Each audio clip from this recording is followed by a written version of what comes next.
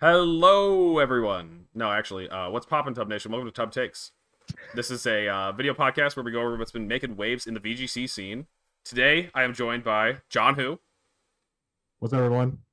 Uh, we also have some accomplished guests. Me and Jon, who were just sitting on our asses back Yeah, home. yeah, Um, we've got uh, regional runner-up from Fresno, uh, Gavin Michaels, Hey, how's it hanging? and we've also got top eight, Len Duel. Hey everyone. Uh, I'm excited to talk about uh, a couple of events from this past weekend. It's actually a. Uh... Oh, I have the wrong link open. um, I'm showing them the doc. Oh no, they'll see all of our secrets. Um, yeah. That's okay. That's okay. They didn't see anything. They didn't see anything. Everybody had their eyes closed. Um. Anyway, we're uh, you know this is a I already kind of explained this is a video podcast. We talk about you know metagame trends, current events. Um, we also talk about your questions, so feel free to leave anything in the chat if you guys want us to uh, respond to it or acknowledge it. And then um, we've also got uh, this will be uploaded on YouTube. Uh, sadly, I don't have Audie here to shill for that, so I think if I do exclamation YT. Uh, that does. Oh, work. yeah. so Good yeah, you said this up so we can shill for him when he's not here. yeah. So yeah, we're gonna be uh this will be up on YouTube on Wednesday. So if uh you can't make it for the whole stream, can't stick around for the whole thing, then uh yeah, you can catch the rest later. Um and yeah, if you're also just like, you know, just discovering this and you're not a uh, a Twitch person, you know, feel free to check it out on YouTube. Or watch it again and make sure to, you know, click on all the ads, um subscribe here, subscribe there, you know, that's uh, I I've, got a Patreon. Um, yeah, if you just want to give me money. But that's it. Uh, just uh, anyways, let's uh, what is the first thing we got? We, let's talk about this special event. I when was this even announced? This was announced like after Great last Tub question. Takes? The special event was announced between when I started work and then when I saw it, then the signups were already closed. Yeah. I, I this this article was put up on Victory Road on June 9th. Uh, what was June 9th? A couple days ago. Um, Thursday, Friday, Friday. Um, and uh, this is in Puerto Rico, uh, Caguas, Puerto Rico. Uh, I'm gonna guess that's the pronunciation. And um, I'm guessing that nobody here is going.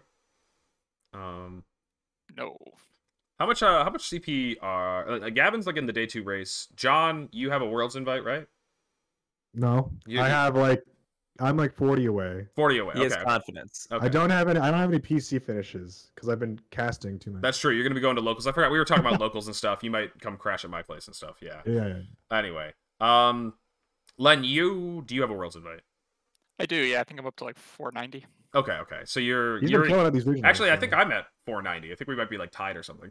Um, Who tied on the leaderboard? yeah, you two we, are in the funny spot of like having way more than a world's invite and winning Nats does not get you day two. yes, I was. That's what I was going to mention. Is that we are in the like ah whatever. Like we- we're not going to Puerto Rico. This, I mean this, this isn't going to The do. it. sea of irrelevant CP. None of it can matter. Yeah, exactly.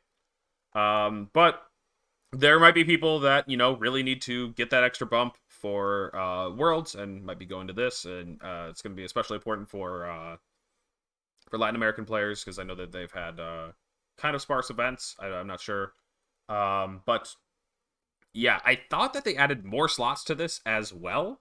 I thought that was the word was that they were going to add like 50 more and that it already got filled up. There was also some other stuff that I saw um, being mentioned, um, like that you could like initially sign up for free. Um, Yeah, and then you had to like pay them 25 bucks to keep this slot or something. I don't everything I'm hearing just sounds like an unverified rumor. yeah, Like, it, it- it has been like that. Yes. Uh, the the other like thing that this might be less rumor than factual, but I heard people were getting like emailed like to just submit their registration payment to like a PayPal link, which was funny. Mhm. Um, just different than everything that we've ever seen before. It's almost like, is this a real event? Are you actually hosting this? I mean, I mean, at worst, it becomes a, a quick little vacation to Puerto Rico, right? Uh, so yeah, I mean, yeah, yeah. can't be that bad. Um, a little bit of history. Um, James Eeks. James Eeks won the, last event in uh in San Jose, the Han- San Jose special event. Okay, funny. Um, but yeah, that's there's not much more to say about uh the special event. It, it, it signups are closed, so it's not really a PSA if you want to go get in there. Um, I couldn't have warned you beforehand because there wasn't a tub takes between the this announcement and it filling up. So um, so I'm gonna go ahead and move us on along to talking about Japan Nets. Um, this is the the fun one. You guys probably didn't get to watch much of it, uh, Gavin and Len. You guys were, well, maybe I don't know. Where you got? Did you I- guys? They would have had to sacrifice a lot of sleep between day one and day two. I feel. when did it start? It started at like five at p.m. their time or something, right? Yeah, I watched it while in the passenger seat driving up to Fresno. Got Nice. some in. Okay. I- Watched some Saturday night. I Hell feel yeah. like I definitely saw finals. Um, and I heard some things happen in the car, and then I heard the word Stantler, and I was confused. Stantler did make a make a deep run, huh? Mhm. Um, here it is, it uh, top eight. Um, so we saw that it was ultimately won by UB Slow, uh, Kaito Ari, um, and uh, with a team of Maushold, uh, Annihilape, Talonflame, Grimsnarl, Ting Lu, and Iron Hands. I actually remember me and Jon watched a lot of this in call together, and uh, so I'll probably be like referencing that a lot. But I remember when we first saw this team appear on stream, I was like, which direction is this team going? I just don't get it. Is it a Tailwind team? Is it a Screens team? Is it a Mouse Ape team? Like, there's also a Hands here, double fighting. It just, it's every direction at once. yeah, I mean, I think. Well, go ahead. You go ahead. You're the guest here. I think that like what's interesting is while this is going on, kind of tying back into uh, some of the NA stuff, we're also seeing like Mouse Ape Talon like start to pick up in usage and start Mhm. to do super well. So like I kind of focus on like that portion of the team more than anything else. But the Grimsnarl is really cool too. Like I think we've seen a couple of like Grimsnarl hands teams, but most of the ones I've seen have had like uh, Gholdengo on it or something, and it's kind of like double setup. And I guess like Hands and Iolape is double setup too, if you really think about it. Yeah, yeah, yeah. They, they've got the Swords Dancer bulk up option. Um, both of them have uh, Drain Punch for sustain. Um, I think Goggles Ape seems to be a bit more of a popular pick over there, at least from some of the apes that we were seeing. Yeah. In... I did see a couple goggles apes. My guess, I suppose, is that I think for one, it's like kind of a known thing at this point to be goggles on your mouse. Um, so they won't like obviously spore your mouse at all. But in the event that you're got you're caught out of position where mouse is off the field, and they have an opportunity to spore you, the goggles on ape will will help you out. Um, and I think they didn't have open. No, no, wait. They had open sheet only in the top eight. I want to say And that And was they did open not have- sheet, close Tera. close Tera, and in the actual competition uh, on Saturday, uh, they did not have it at all, and they just had to kind of go best of one, best of fun. At least it was double elimination, so it was like at least not super terrible. Like out of all the formats you could have been playing this on, it's not the worst thing ever, but uh, still a little brutal for sure. I think I was seeing a bunch of tweets about like certain one-one matchups being like really brutal. Mhm. Uh, I think you do have to look at a lot of the teams in the lens of initially being a closed team sheet tournament, right? Like the, the safety goggles makes a lot more sense on Annihilape instead of Mouse if you think the most important rounds are the ones that get you to the closed team sheet part. Yeah, because like top eight is a day two worlds invite. Mhm. What what do you even get from like winning? Like Oh, uh, Uh, like you get a travel award. Which I mean, it's in Japan, so I guess the travel award probably isn't worth all that much. Um, but I don't know. I, I'm not like a travel award person, so I think they give you a stipend right when you show up to the event. yeah. worth so it's not necessarily that like I was gonna say, Yeah, uh, worth noting They is that this that. was a uh, winners like bracket, losers bracket type tournament. I think that was new for them. Mm-hmm. Um, and so like when people finished in the top eight, there are actually people who finished in the top six, and like third and fourth are distinguished and different in this, even though they have the same rewards. I don't think they got there the same way, the same route.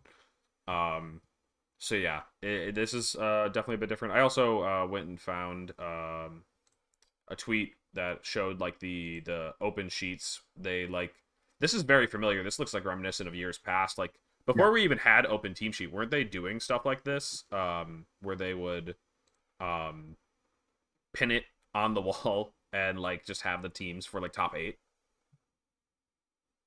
yeah, they've Yeah. always they've always done this. It's um their format is really like clean, and they kind of figured this out, uh, where they can pretty much present all the information that's relevant, And of course, before Tera types existed, they didn't have to display that information. Of course, this is closed Tera, so they don't have to do that anyway. Mm-hmm. Um, but yeah, this is a little different from the open team sheets we all know, besides the Tera aspect, because these sheets also display the effective nature of That, every yeah. Pokemon too.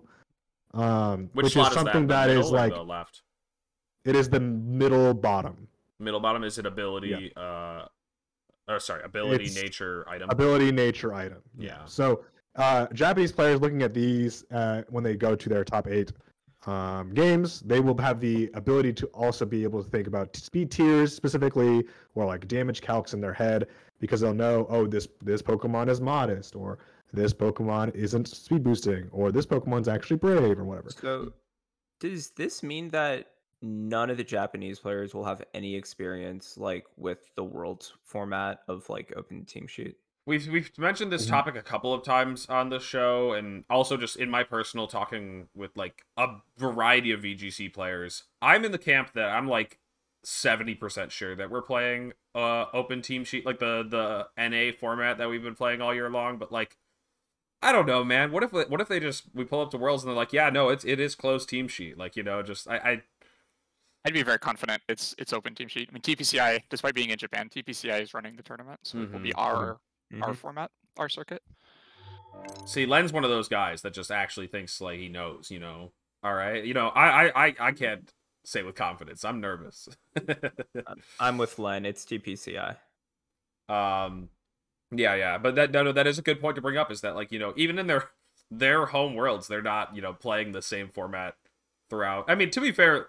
I I think that they are like getting to experience all aspects of Pokemon. They they start with a best of one qualifier, a mixed best of one, best of three, open team sheet Nats into full open team sheet worlds. They are just playing every angle of Pokemon. Like next year, they're gonna make them play like Smogon OU to qualify. Well, that's funny because I think the majority of Japanese players who play Pokemon just played uh, singles ladder. It's pretty Like- popular there, right? It's really popular. Um, but I mean, like doubles ladder is still very popular as well. But I think the the main thing is that I think not many Japanese players play on like Showdown. So even if they like did play a bunch of like in-game stuff, it doesn't really prepare them for like open sheets and worlds. But if they play on Showdown, or they have some way to play on Showdown, I mean that that's at least something. I mean, you'd have to be able to read English probably because I don't think they have it in Japanese unless they run like a, a translator to it or something. Mm-hmm. But that would be another way they could get some um, open team sheet, at least on from our side, experience if they just go on Showdown and play open team sheets. Probably mixed results there, but um, just a solution. Oh, yeah, there- There was a couple of uh chats that I wanted to mention from a while ago, but I didn't want to like disrupt the conversation. Here I am disrupting it now. Um, one person asked earlier, like, are you finally going to talk about the day two race? Uh, while we do have Gavin here, I think we're probably going to still save that for the NAIC preview because that's when everything's going to be like finalized, premiere challenges and everything. So that's probably a later topic.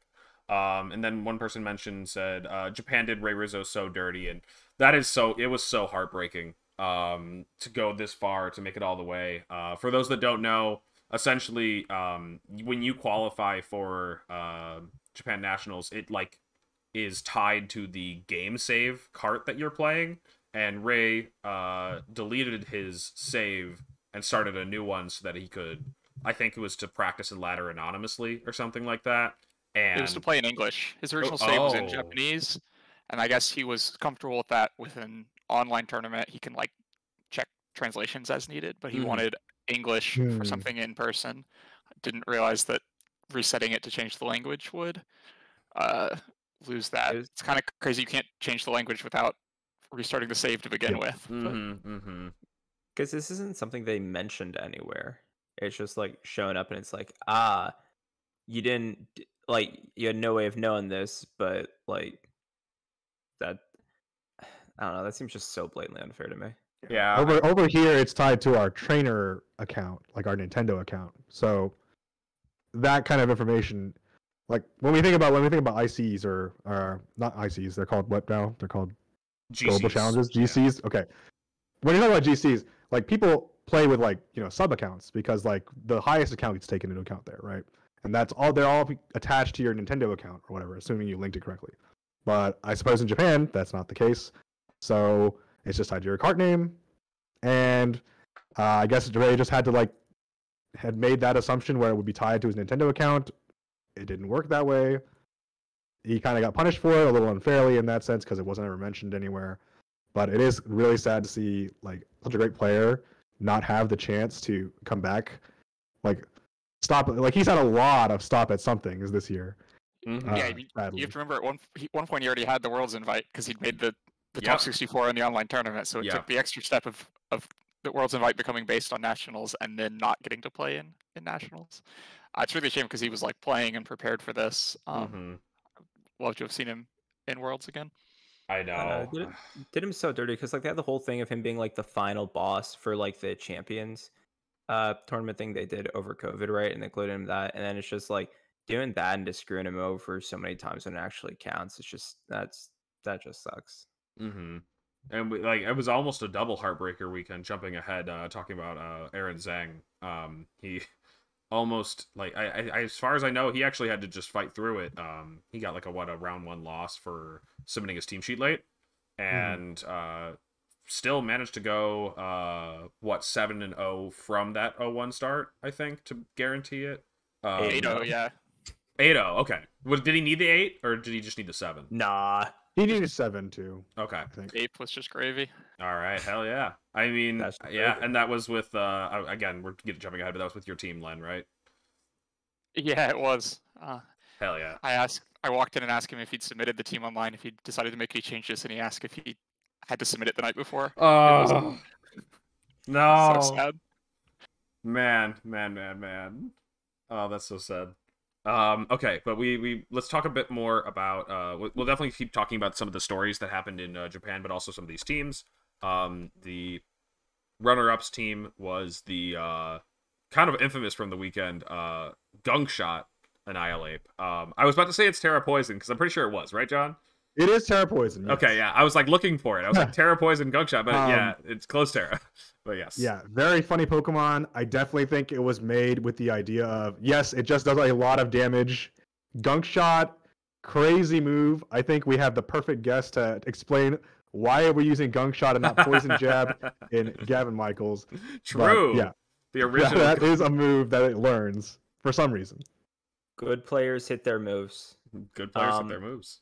And also, it's like with poison jab, I don't know what the hell this is calcing for. I'm gonna be totally honest with you, but I'm assuming that poison jab one hit KOs, uh, like if you get a crit, gunk shot OHKOs if you hit. So it's like that 80% versus the one out of 24. You take the 80. I mean, what's the BP difference? It's 80 versus 120. Like, yeah. yeah. that is actually like I, we've done this one before. I've said this before on the show, but like 80 versus 120 is very easy. It's a, it's 1.5. That's an intimidate. Like going for gunk shot at minus one is like going for poison jab. Going for poison jab is like going for gunk shot at minus one. It's just like you're permanently intimidating yourself. Like, come on, just get over it. Just hit. Um, Just hit the move. You, you or We like know I guess this- the, the flip side is like it's like a choice band to uh, poison jab. Like you know, just take that free choice band.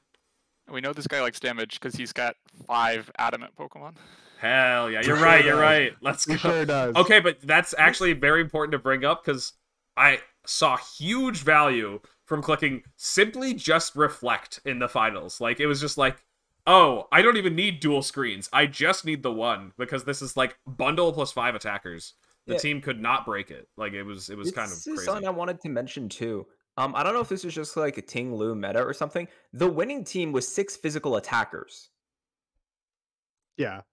it That's is. true. That's true. And uh, they- they set up Reflect to beat five physical attackers in the finals. Like, where are the wait? So Flutter didn't even make finals. Flutter Flutter washed. Flutter was three and four. Yeah. A- ape uh, ape the better ghost. I mean, every team is still running one of the broken Gen nine ghosts. They did add some very strong ghost Pokemon. Gholdengo makes one appearance in the top six. I, I saying that makes me want to barf, but it, it, no, it's actual top six. Um, it's top six because of double elim. because it's double elim. yeah, I got top six at Nats at 2015. What about it, man? um, I still remember that I was sixth.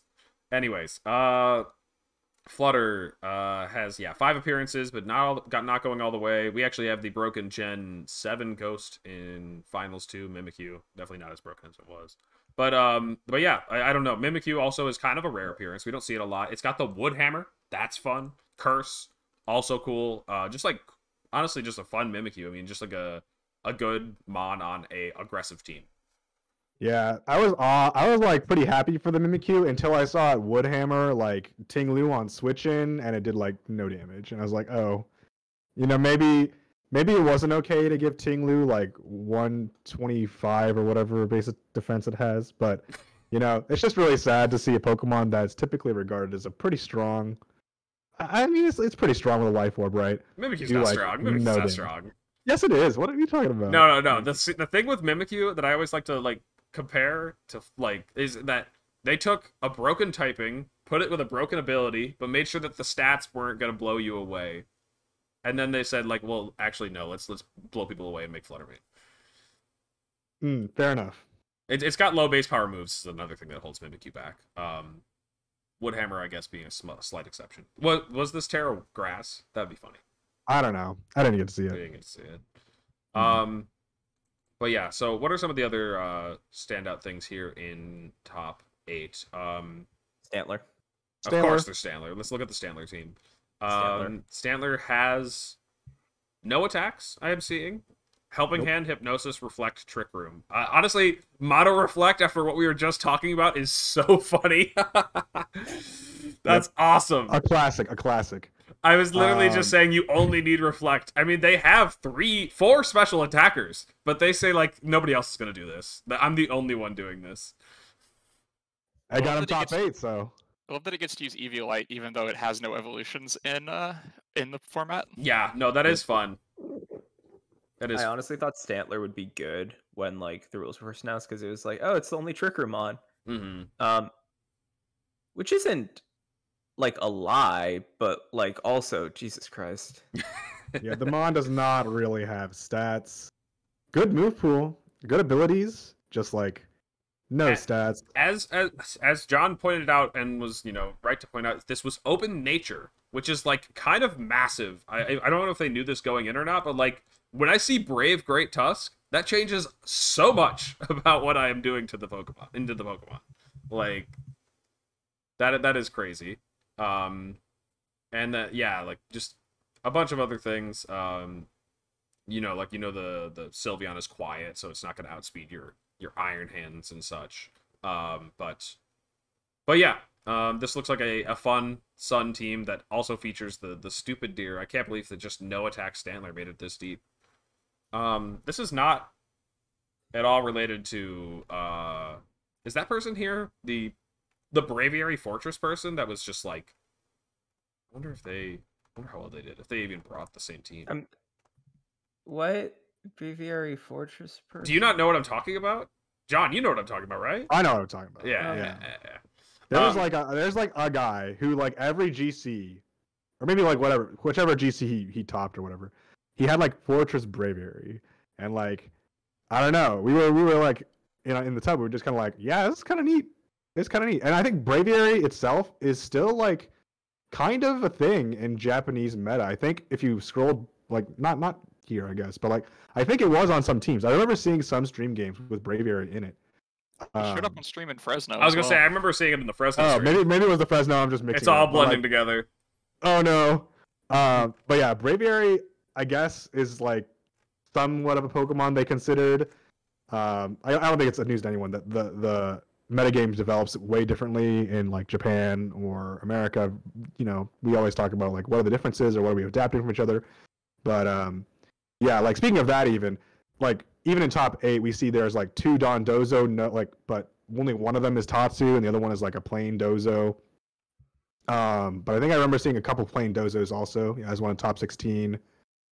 Um, even small things like both of the Chi-Yus in top four are a little bit differently different than how it's played here. We got a scarf one and Mhm. one with will o wisp. Yeah, I'd agree with that. I think like in the West, what end up coming up a lot is either uh, Life Orb, Tera Blast, or like the Nasty Plot or Choice Specs. I don't think I've Mhm. seen Choice Scarf in a minute. But I think there's two choice scarf in top eight. yeah, there's the Stantler one who's Choice Scarf, I think, and then there's like another one that's Scarf up here somewhere. Oh yeah, we should probably mention that this was um like they had the spectator mode. They had uh, spectator mode going. We saw a brief preview of that, I think, in Hong Kong at their national. Um, and it's some kind of strange live competition system where, like, it, I think, automatically queues you into your next opponent. Um, I'm not sure how they were doing the best of threes in the top eight stage. Uh, I can't tell you. um, but it's kind of like how we used to do things in the back of the day, I imagine, where, like, you would get your team locked uh, you would have to go and like you know get the tournament code onto your Switch from like a, a host Switch device thing. Um, I'm curious though. I wonder if we'll actually get to experience this at Worlds. If this is because I mean they did play best of three from top eight on, so surely the system can handle best of three. Uh, but the spectator mode does look very clean. Uh, we got to watch a bit of that. Um, uh, I showed a preview of that like a couple weeks ago, and yeah, it's just like you know you have all the HP bars. It shows the mons that have Tera'd, as well as their like Tera type, um, and it's really cool. Yeah, I was really enjoying the interface. Really, I think the only weird thing I think I found a couple times when I was watching is that sometimes the uh, idle animations for the Pokemon would play even though the turn was starting, or like they were switching in or out or something. Oh, that's fun. So you'd be like, "Oh, the Pokemon is doing their little idle animation," and then suddenly they're into the attack animation, like mid idle animation, and it was kind of funky. Um, but honestly, they kind of do that in the base game, so I wasn't too too phased on it. I was just like, "Yep, this has that quirk too." Uh, that is pretty funny. Uh, Uh, Maluka pointed out that it was actually, uh, or uh, Maluka said, I thought they registered through online competitions like the GCs. So, yeah, and that might actually. Uh, that makes sense because it's tied to your game's um, ID or whatever, like your your, your game, uh, your Yeah. file, your save file. I guess is the best way I can think of it.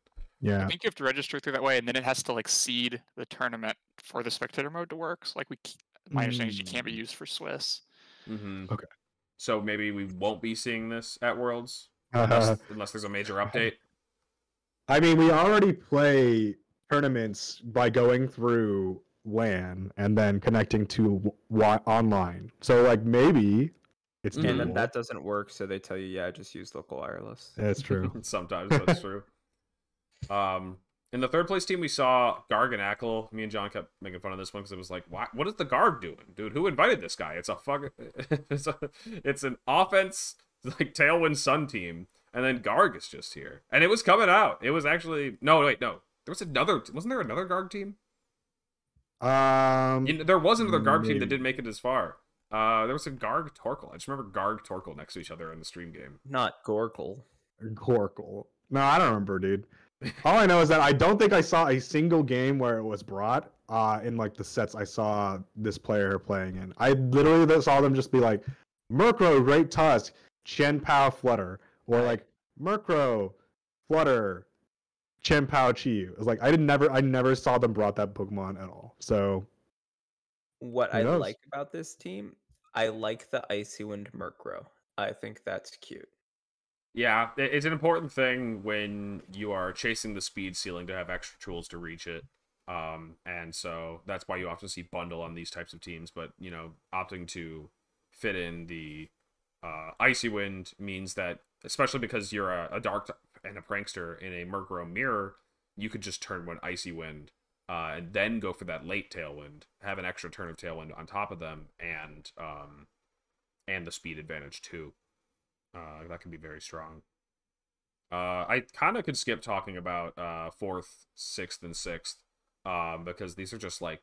I mean, there's probably something. Let's. I'll do a quick scan with my eyes to see if they did anything crazy, like Thunder Punch on the Dragonite. Um, Icicle Crash Chien-Pao. Uh, we believe in our uh, in our consistency. They wanted the extra damage, and honestly, I respect it. we were just saying you should just not miss your moves, and he's getting like five extra BP. Okay. That's true. It is five BP. There, that, you got to draw the line somewhere. um, what the heck is this flutter? This is uh, we don't get to know it's Tera, but it's Dazzle Gleam, Tera Blast, Substitute Protect. Um, Yeah, I mean, is Tera Blast more powerful in a format with closed Tera? Because it's not just what defensive type is it Oh. going to be. You don't even know what coverage move is coming your way. Like you have to be worried all the time. This reminds me of like hidden power in years past. yeah, It's- true. All right, I'm- Truly. I'm gonna make a bold claim. I think it's got to be Tera Water. Tera Water. I, that, that that Um, feels a good like a good pick. Yeah, that feels correct. Maybe it's like it could be Tera Grass, honestly, but yeah, it's What- probably one of those two. Um, and we also see the I mean, you just rocks have energy ball, right? That's oh, true. Yeah, yeah, yeah. It does not learn a water move, huh? Uh, and lastly, down here we've got, um, yeah, just a a, a Dondozo team. They um, another Stealth Rock. Stealth Rock's actually making a couple of uh, appearances here in the uh, top eight, so that's pretty cool. Um, I think it was only on two of these teams, but um, the Stealth Rock Sting Lu, that's fun. One? Um, Yeah, couple more, couple more Ting-Lu, Dondozo, Stall, Breaker type teams Mhm. here too. some opting to run the Tatsu, some not. So, um, and then lastly, this team is like the standout team. Looking at it, like it's just like this person's running like a, I don't know. This just looks something that a European would run. I don't know which European, but it looks, it looks European. I don't know how to. Hey, they got they have Mirror Herb Gyarados. I clicked the cheat. Life Mirror Orb, Herb Gyarados. Life Orb, uh, Earthquake, Tyranitar, Iron Defense Body Press, Bronzong, Mirror Herb, Tera Blast, Gyarados. That's got to be terrifying. Um, Probably. Tailwind, yeah, it's like it's it's Tail Room. Like this actually just looks awesome. Like it looks like it's playing a game that we're not allowed to play. Um, like this is like something that you would play in like 2015 or like I don't know. There's an Occa Berry. there is an Occa Berry. I think you can give a little more respect to Occa Berry in closed team sheet. I, I think that the resist berries are cap in open team sheet, but um, Not until you put a Yache Berry on your Tera Water Shroom. I like Lexar's uh, typo, occasional berry, um, occasionally berry, um, instead of Occa Berry. Um, yeah, I, I forgot there were some European was running like Akaberry Tera Electric Mushroom, and I was just like, I, I'm not here for it. I don't like it. Well, I think that's Julio. I think that's Julio. Isn't that his thing? Yeah, yeah. Honestly, I like Julio's teams this year, but what I'll never understand the Tera Electric Mushroom. There are some whack choices there, but hey, Um, he's alright. I think it was Joe at one point this weekend asked me why I was Tera Steel instead of Tera Electric on Amoonguss, and I just looked at him like he shot someone I loved. what what is the electric? There's a secret like cult of Tera Electric believers that I do not understand. They, they want a flying immunity, and they don't want Or they, they want to be able to like be neutral to fire afterwards. Mm. But it's a rain team. That's you can what go I'm rock. You saying. can resist both. Yo Tera Rock. I That's the real one. I remember That's getting so hit real. by Tera Blast from Tera Rockamungus once, and it did like 40% to whatever it was. It was like super effective too. Um, Did forty percent to your Volcarona. yeah, exactly. That's Uh, my new calculus, right? Tera Electric, yeah, the at least the light bulb does look kind of like a mushroom, so I'll give you that, Rafa. Um, looking at some of these other teams, we see an Iron Moth. I don't think we have sheets for any of these, so we can't really expand on them. Um, we saw Glaceon make it all the way to the top 24. How fun. Um, Screamtail Goth. Wonder if it's uh, Perish or not. That's fun. Kind of looks like it. I think it's either self KO Perish or like Mm, true. there's a Perish game plan in there somewhere. Yeah, yeah. So, correct me if I'm wrong. As far as we know, there was only like two Amoonguss and like two Arcanine in all of their top 24. Yeah, I'm down in the top yeah. 32 now. That looks like it. Yeah, from Well, the from the I teams that we know. From the teams that we know. I saw a third Amoonguss. There's also like a Brute if you want to count Brute, but like eh. That Amoonguss in sixth, I think, is also what most resembles our metagame. Like it has that same bulky Gyarados that's so popular in our in our meta right now. Like mm. you would this team is like one of the only ones that wouldn't feel out of place in a like Mhm. US day two. hmm Yeah, no, I that that that's accurate. Looking at this, um, though, I don't think anybody over here runs Choice Scarf Gholdengo. Nobody. Uh, uh, but yeah, um, so we don't really have anything else to say about some of the rest of these teams, so um, because we don't have any more information. But Yeah. I do think that like I I mean I've always thought that like Amoonguss is stronger in open team sheet because you know like what you're running into, what you can spore, what you can't. And I think that like a lot of this is like very like strongly shaped by like you're mostly trying to get through closed team sheet. If you don't go to one of the close team sheet part, you don't get a worlds invite. If you don't do super well, you don't get day two. So it's like the travel award to win just one extra set of open team sheet. You don't care. You're aiming for close team sheet, and it's Mhm. built with that in mind. And it makes me wonder how much of this is applicable. Yeah, I mean, without open team sheet, this is the worst generation yet for Mungus, right? Because suddenly anything can just turn grass and have safety goggles for that Mhm. turn, and you Mhm. can't see it coming. So, like, if we did gone into this generation without open team sheet, we probably would have seen Amoonguss take a like a dive instead of becoming even Yeah. more popular. Mhm, mhm. like maybe some of that gets like mitigated in like best of threes, close sheet, but yeah, losing you're basically losing a whole turn or maybe even like a whole game, depending on how you position yourself, on a, a wrong call if they Tera grass or like you called their goggles mon wrong. And maybe that's also why like you see the goggles ape in Japan and that- that's going so far because like those turns turn into like really really snowbally effects if the s- ape does anything right. So I would say that the goggles ape being more at the top is just like a sign of, yeah, they just they just played the format better than the other person did.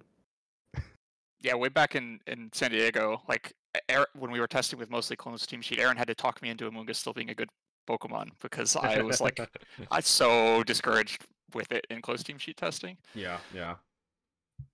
No, I feel that that that uh, it, it's like a, a double edged sword, you know, like it. Um, but at, at the very least, yeah, when we have uh open team sheet, it does make Amoonguss a lot safer. You know what what matchups it can come to and what mons it can spore. You don't even have to waste the time. Um, but yeah, we do have more tools. Tera Grass uh, definitely still seems uh, pretty popular. I wouldn't be surprised if Tera Grass was like the second most popular, like generic Tera right now. I feel like Tera Water is everywhere, and maybe Tera Fairy is like surprisingly number one just because Flutter Mane's like number one Pokemon, um, or Hmm. something. Uh, Uh, could yeah. be Tera Ghost. hmm, Ghost is pretty Um, common too. I feel like Ghost is probably fourth though. I feel like I'm gonna put it behind Uh, those other ones. Okay, Tera Ghost you got on Maushold, Talonflame, some Chi-Yu, and all bun and like half of bundles. And Pao, and Pao. I don't know if you mentioned and Pao. Pao. I just feel like water is everywhere though. In terms of non-stab Teras, Yeah. there's like one or two water Pokemon per team. I feel like. Mm-hmm. And if you mentioned Guys, guys, guys, this is this is a new tub content area. It's the Teras by usage, and we play a guessing game. for each mon. yeah. Yeah, right. Um Yeah, yeah. I remember uh back when um when VGC Pastes was more active, the spreadsheet had this like just listed like what was the most common Tera. Mhm, mhm. Um so um maybe if that picks back up we can always get that information. Uh I think I saw some posts about regulation D. Who knows? Um let's go ahead and move on to talking about Fresno though. Um so Fresno took place this past weekend. Um I'm seeing 285 players. Is that how many you guys had? Uh, after Yeah, just under 300, I think. okay, It's still 285. enough for two days. But that's still yeah, still two days. Still um, still um, nine rounds in the first day, and uh, a top 32 cut with uh, five rounds of Swiss the second day, and a top eight cut after all of that. Uh, but with less people does mean that some six and threes sneak their way in. Um, uh, I believe into day two, right? I don't actually know how many. Yeah, there were like eight of them, seven. Okay. I think it was Oh, seven. okay, that's pretty sizable. Um, and we have the results here. Uh, Emilio won um, with a team of Flutterman Amoonguss, Arcanine Bundle, Kingambit, and Iron Hands. I remember uh, saying to Burns when I saw that Emilio was at the tournament, uh, I was like, he's probably just running something boring with Iron Bundle on it. Like some standard team that hasn't had Iron Bundle on it yet with an Iron Bundle. And sure enough, it's just kind of like yeah, I don't know. I, I feel like uh, it, it's got the Luca Kingambit, the the Tera Dark Mhm. Black Glasses one, The super damage output one. um, and I think he used bundle with that Kingambit in like a GC, but like yeah, basically he just took like balance, put the bundle on instead of your Gyarados or Palafin or whatever, uh, and yeah, th- this is this is Emilio's Well- team. He's just said he's gonna play her diff. I'd argue that like Emilio's team is like very centered around the Kingambit like, more than anything else, and I think like it's trying to make that the central piece in the vast majority of its matchups. So like it plays a bit differently than uh, Palance, where like I don't know. Like you're like sort of thinking like, okay, like what is the Pokemon I'm gonna win with, and like you have a couple of options for it. I think that Emilio is like very committed to. Game. I know like there's a couple of games where he didn't bring it, but as far as I know, like in all the sets I've heard, like he brought Kingambit at least once. Mm-hmm. Yeah, he he focused our whole match around it for sure. hmm Yeah, he. Uh, it- a lot of people are talking about the uh, the Specs trick room. Of course, I, I'm imagining that neither of you guys got to see that. Um, sounds like a rare tech. Um, I think it's a smart thing, even if you just never click it the entire tournament. It's a smart thing to make people think about for sure. constantly. Like I think you can get more value out of Trick Room fourth move that you never click than you can out of a coverage move that you almost never click. Mm-hmm. Yeah, Yeah. No, I, I feel that with open team sheet, you can make plays like that, uh, and that's really cool.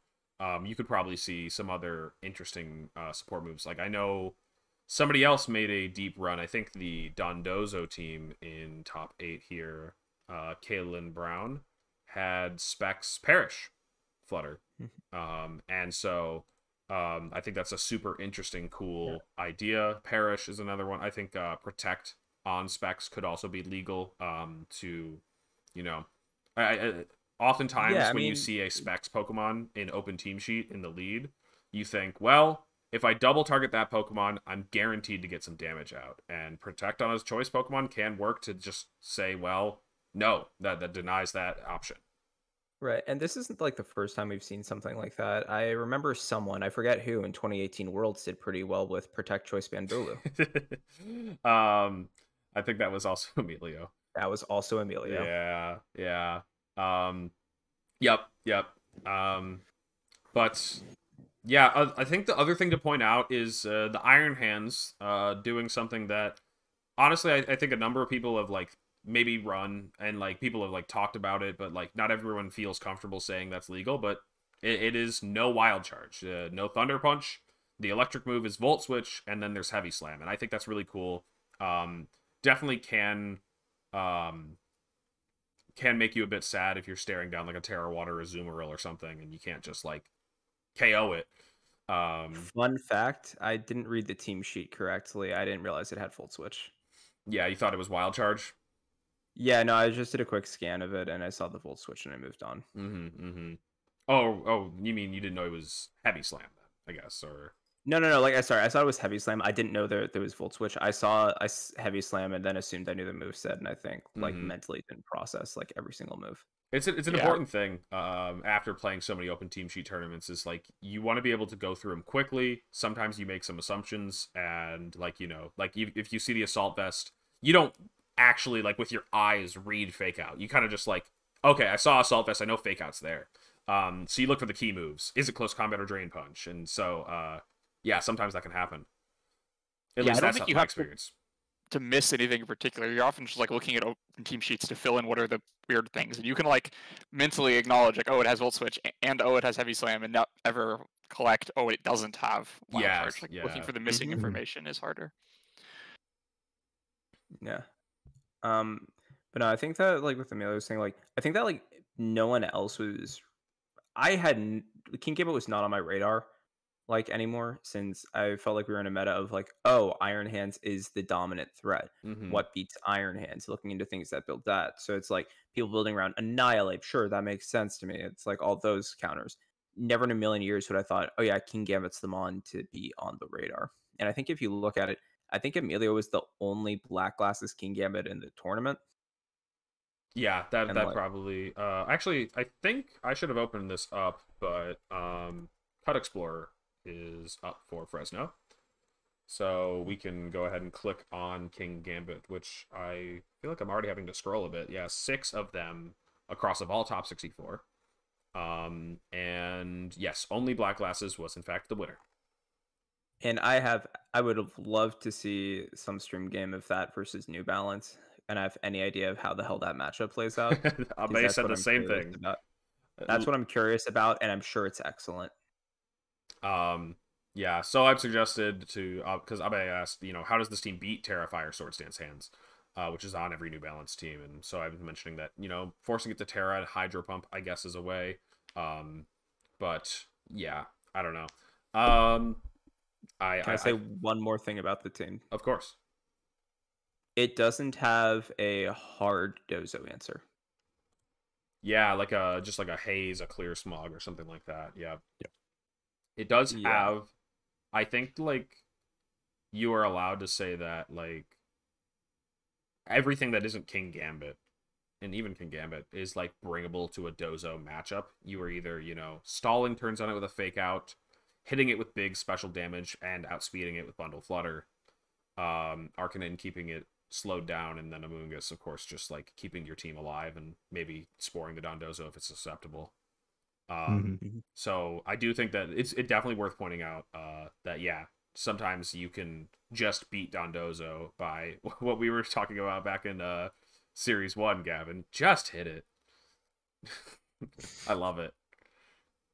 I know it's really like um we've really come full circle on the like the IQ curve meme of just like I just hit the Dondozo. No, you need clear smog haze. Sacred Just sword. Yeah, just just hit it. Yep. Just play better, says Maluka.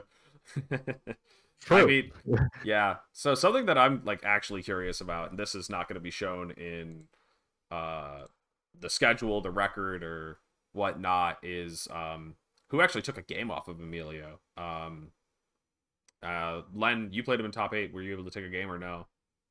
I did not. He, he brought a different game plan than what I was expecting and was just like a step ahead of me the whole time. He played it really well. Mm-hmm. No, no. So Lexar mentions Chuppa. I do know that Chuppa um, won the set Won the set. Swiss day one. Um. Oh, Water, you said you took a game in round nine.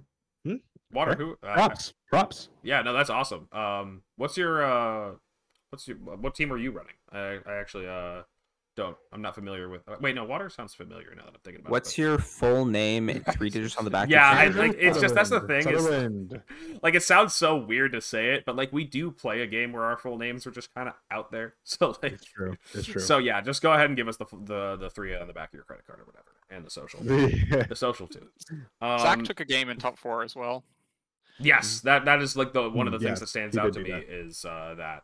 Um, and um, yeah, for the um, for the people that like drool over like balanced teams and stuff like that, like oh he he actually put eight EVs here instead of there. Um, you know, I, I do think that one thing to point out from that top four against Zach was like I did see the specs flutter outsped Talonflame, and like one of his lines into Talonflame was e speeding it and then shadowballing it for a KO. And um, it those like little distinctions are going to be the things to look out for on a uh quote boring team from Emilio using you know six standard Pokemon is like you know he's got things like that. He's got this standout Iron Hands with like you know no wild charge. He's got the um the Trick Room Flutter um and yeah I, I mean like I also think that we haven't seen this exact six combination of them except Sohai when he like got top 33 at some tournament or something he was mentioning. So um you know like I, we haven't seen this at the top of a tournament I guess. Iron Hands Kingambit uh is the main thing. Is like the when I when I talk about balance teams um Iron Hands and Kingambit often filled the same role as the meatball uh, is what I like to call them. Just the the ball of stats, the the hit trader, uh, usually a physical attacker like Dragonite or one of these two. They, they're just meatballs, you know.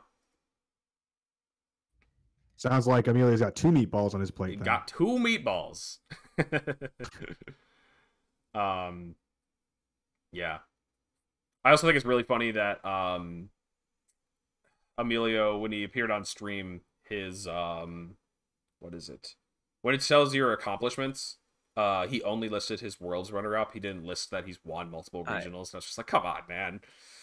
I asked him about it. He was just being lazy.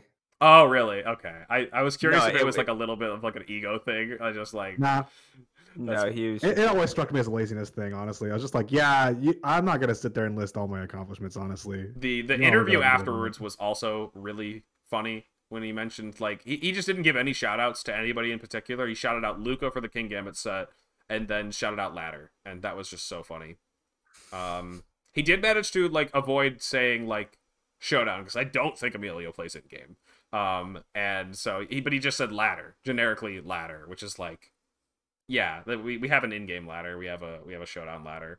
But he didn't pull like a Joe UX9 where Joe Joe would definitely have said showdown in that position. I'm not sure actually, because like No I shade on did a Show- no lot shade of. Pokemon Showdown. I don't remember seeing a team like Emilio's, which like mm-hmm.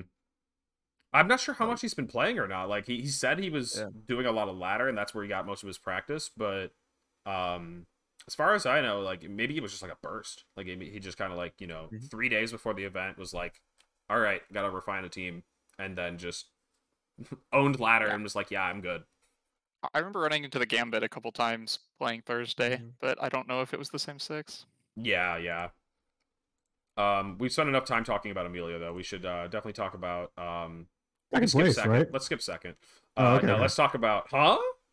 Um, Gavin, I, is there anything new to say about the team? Um, the it's running all of the same sets, I think.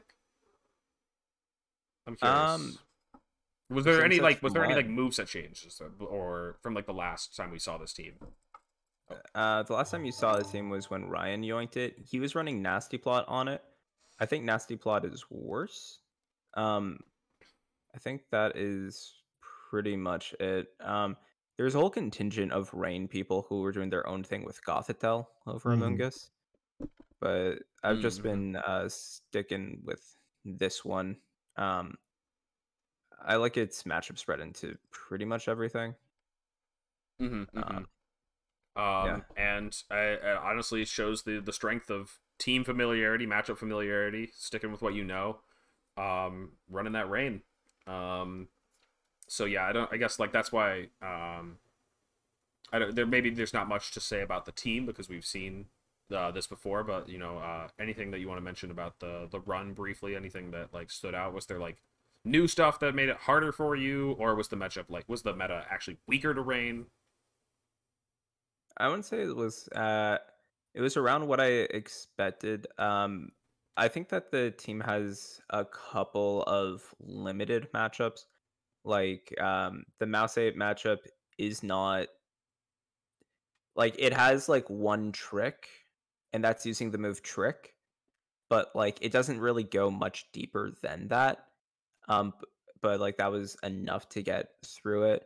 Um, I was trying a few modes into New Balance, but ultimately, what ended up winning me games was just like what was shown on stream against uh, Riley. Um, so the team felt like limited in a few matchups, just in terms of like it's not like it has like a depth of options, but it's just like those options were good enough to take it. I think that like with more practice uh, against it, people can like start finding and exploiting holes into it. But I think for the tournament, it like wasn't it was on enough people's radar that they had game plans against it, but I don't think there was like those game plans had like that much depth to them. So it was still like relatively fine. What's the trick target tier list against New Balance? Um, if you so S tier is uh tricking a Swords Dance, uh Tera Fire Iron Hands. Mhm, mhm. Um, A tier is tricking any other Iron Hands or the Amoonguss. And then F is anything else. If you Oh, trick any of the other Pokemon, you're going to lose the game. Oh no, shit. High risk, high reward, baby. But if you trick the Amoonguss or the Iron Hands, then uh pretty much all of the games kind of come down to this Amoonguss Iron Hands versus Amoonguss Iron Hands stalemate. But if they're tricked, no matter what they're locked into, you will always have the slight advantage. And Man, so that that Amoonguss Iron Hand stalemate against Riley, it just like, It was terrible. oh my god, bro. You were- yeah, and I was playing to that. It was like I know I edged this out slightly every single time. Not every single time, but it's like ridiculously in my favor. So it's just like play to that. But if the trick goes off onto the Gyarados or the Ting-Lu, I'm not really sure how you get through. You probably have to actually like play well, which ugh. Yeah. Gavin was going for the clean checkmate in 40. You know, it's just No, you see there's a, this is a common end game. If you just trick the Mhm. Iron That's- Hands. That's definitely what I felt watching that top four match, though, was that like as long as it's Amoonguss or hands, that limits their options just enough in that one of those really extended games. If at game two, Like you, you seemed pretty far down at one point, but the the the scarf on Amoonguss just like kept causing him problems over and over again until you were back in it.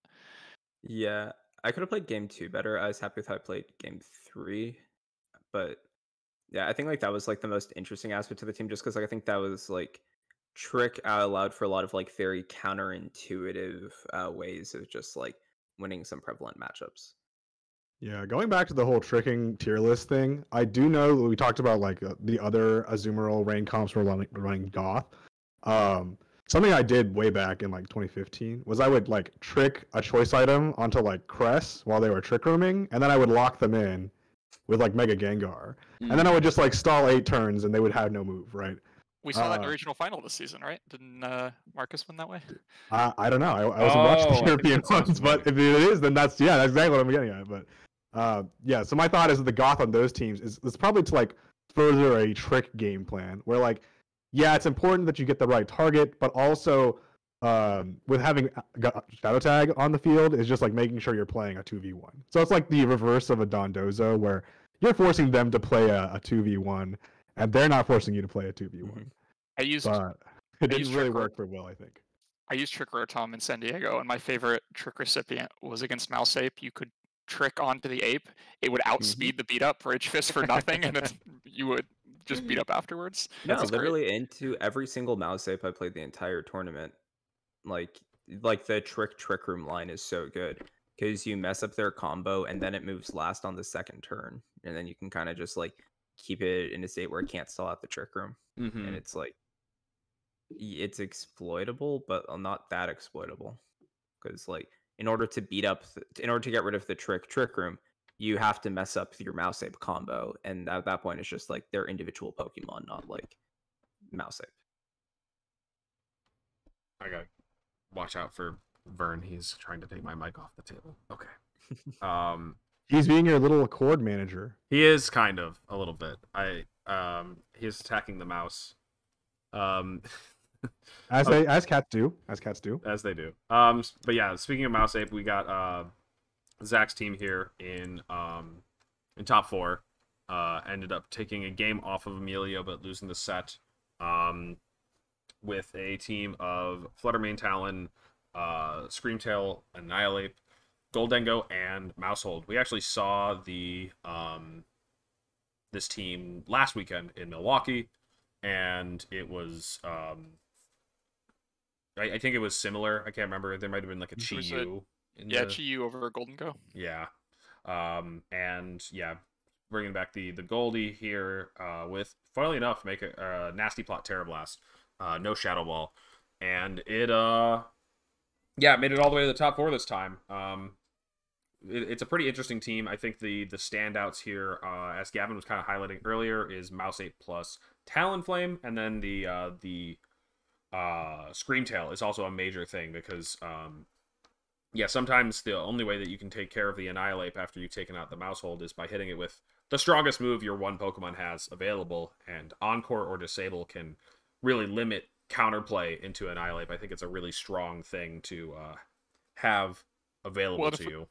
If we get way more specific about it, it's very strong into Specs Flutter as well, right? Like as the Mouse Mhm. player, you don't want to be facing down Specs Dazzling Gleams, but if you or or Moonblast, but the Screamtail like limits that Pokemon so much. hmm It's a choice, especially you know, um, open team sheet.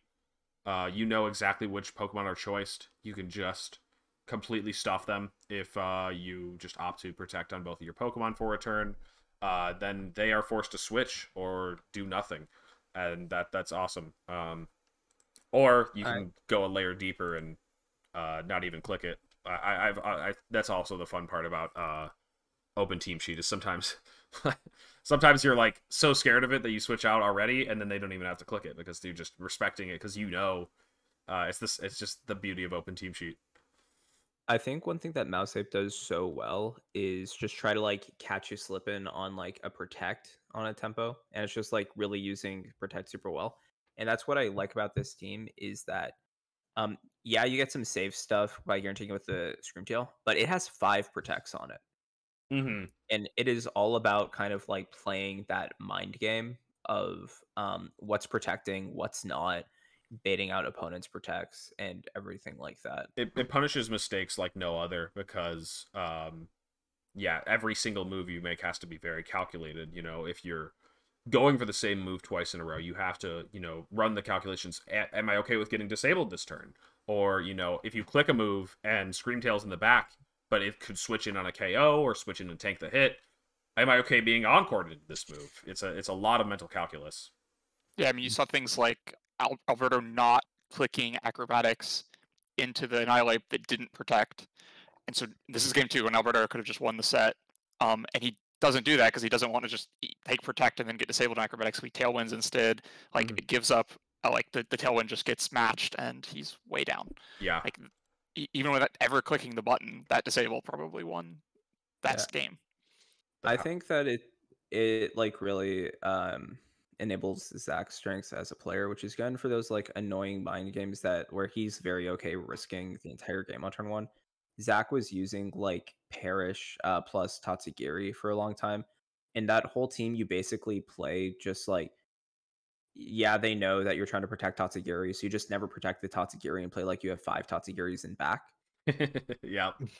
And like if they double into it and read you, shake their hand and go next. Yep. I yep. got I get the advice that he played that way before our first game in Vancouver. I just doubled the Tatsu on turn one, and he like FF'd on turn two. yeah. Yep. Like that's what he does and he's like willing to like put that pressure on and it's like you're gonna have to get calls right against it in Mhm. order to win so it's just very scary it always works until it doesn't. Um, Riley ended up getting top four with uh, New Balance. New I, wow, there's probably so many interesting decisions here on all of the Pokemon and so much nuance. Let's go next. Um, Wait, can I say one thing about Riley? oh my gosh. Oh, uh, Riley, sure, yeah. So, uh, in Orlando, in the last round of Swiss, Riley played Mike D'Angelo and then scooped because he said, "I'm not going to any more tournaments this year. I'm not going for a Worlds invite." and then he decided, actually, never mind. And then like booked last minute flights to like Milwaukee and like came to Fresno and everything, and then got a Worlds invite. I, I played Riley. He- I, that's honestly so respectable. Just you know, it, he decided actually I'm going to make this happen and did. and Um, he's gotten like 390 CP off of only regulation C. He um I played him in the last round at Milwaukee. Uh in the um I guess winning in. I was it was a pair down and I was like probably gonna make it in on resistance, but just didn't want to risk it. So um so we ended up playing a close set. Uh I think he had a Excalibur over Mhm. Ting-Lu. Not that important. Still boring balance. Whatever, man. Moving on. Choppa using um his t- choice of two Earthquakers. I think this is the thing that everyone was looking at this team they're like, is that allowed? I guess, yeah. Th- There's no there's no limit on Earthquake. Uh he's got uh Garchomp and Great Tusk. Um and then the uh the dreaded Pow Knight with multi-scale and uh Tera Normal uh extreme speeds. Uh, we've got Specs Goldie and Talonflame. It's just a very offensive, aggressive team. I feel somewhat like culpable for double Earthquakers because I knocked. I gave Chuppa his fourth loss in Milwaukee by just clicking Rock Slide for five turns. Let's go. That's how you I- do it, though. I've got word from the man himself. Great Tusk was really just there to pin down uh Tera Fire Iron Hands. And it's like basically thinking that like, okay, against Tera Fire Iron Hands and Tera Grass Iron Hands, you need different answers for them because nothing actually beats both of them. Um but that Great Tusk was pretty ass. And that like I don't think he brought it very much. Gotcha. Okay. Well, then, honestly, uh, Pow aside, it just kind of feels like a Series 1 Tailwind spam team, you know? Just like, I'm here to click Earthquake with my Garchomp, make it rain with my Specs Gholdengo, and I'm just doing big spread damage for three turns, and then I'll do it again if you don't KO this Talonflame. um, yeah. Um, also, yeah, Lexar points out that it was made by Jesse, so shout outs to Jesse for the team. I remember Chuppa saying something like that uh, in the tweet. A couple of people were running this team.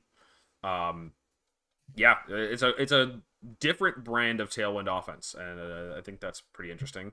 Uh, we definitely should talk about uh, Kalen Brown's team because Kalen went nine and zero in Swiss, um, with as we mentioned earlier the Choice Specs Perish Song Flutter.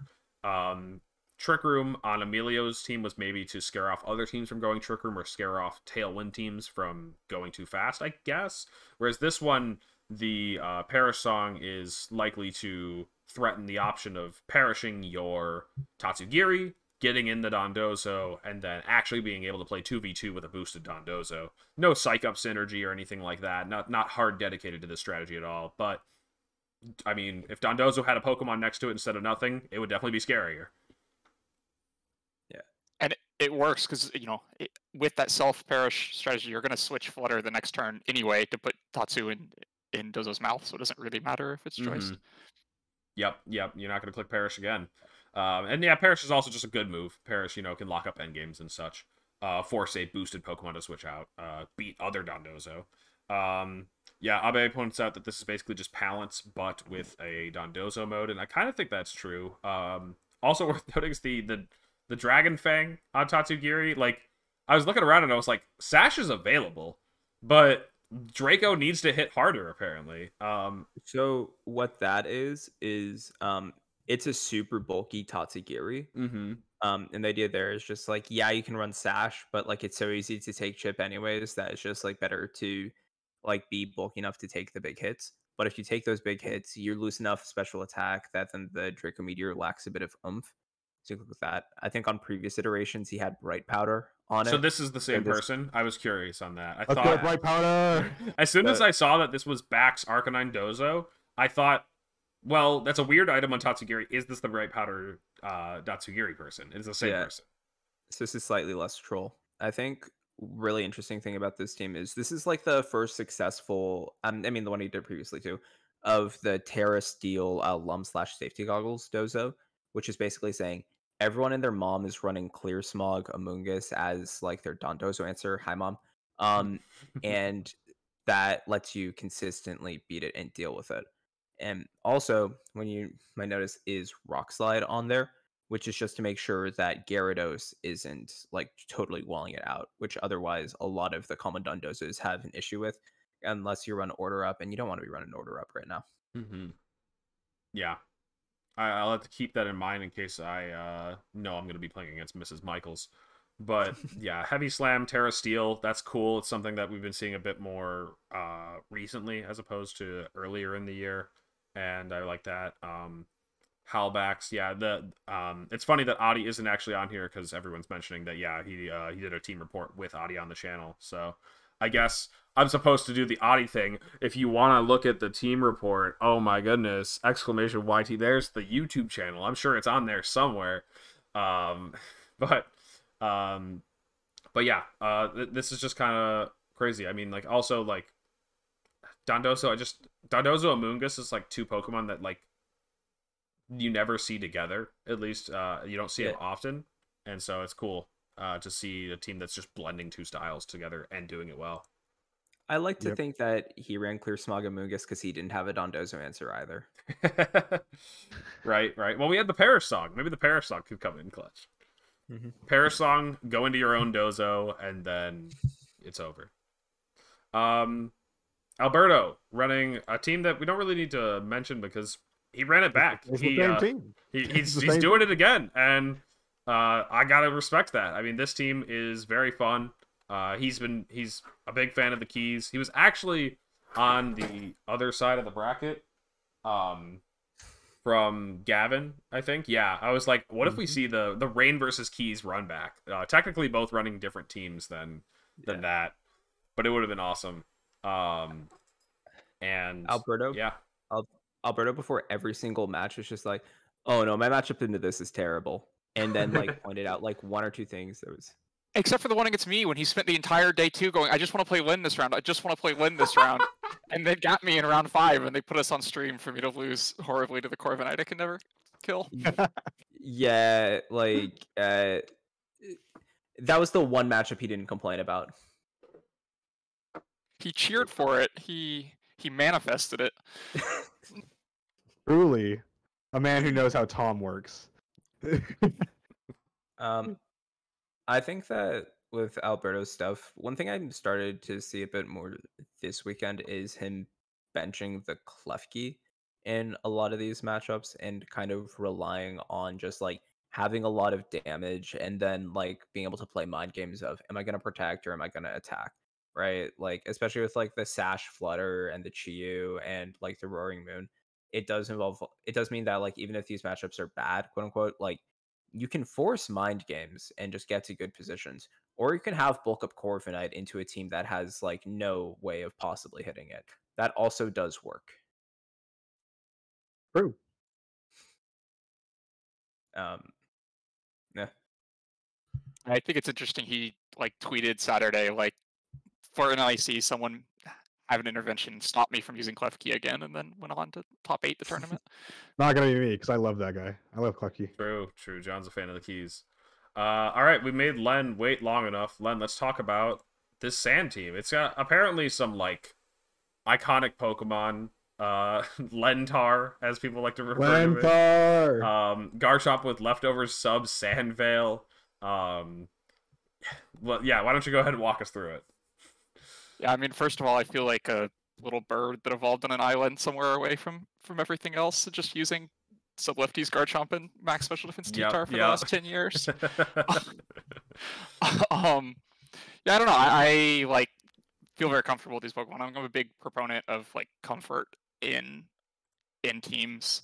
Um, when I had a 2018 NAIC run with like a very similar team, other people tried to pick it up and it went like badly for them because I don't think the team was objectively good in any way. Um, but I knew all the matchups, and I think there's a big advantage to having one-sided matchup knowledge. Mhm, I- mhm.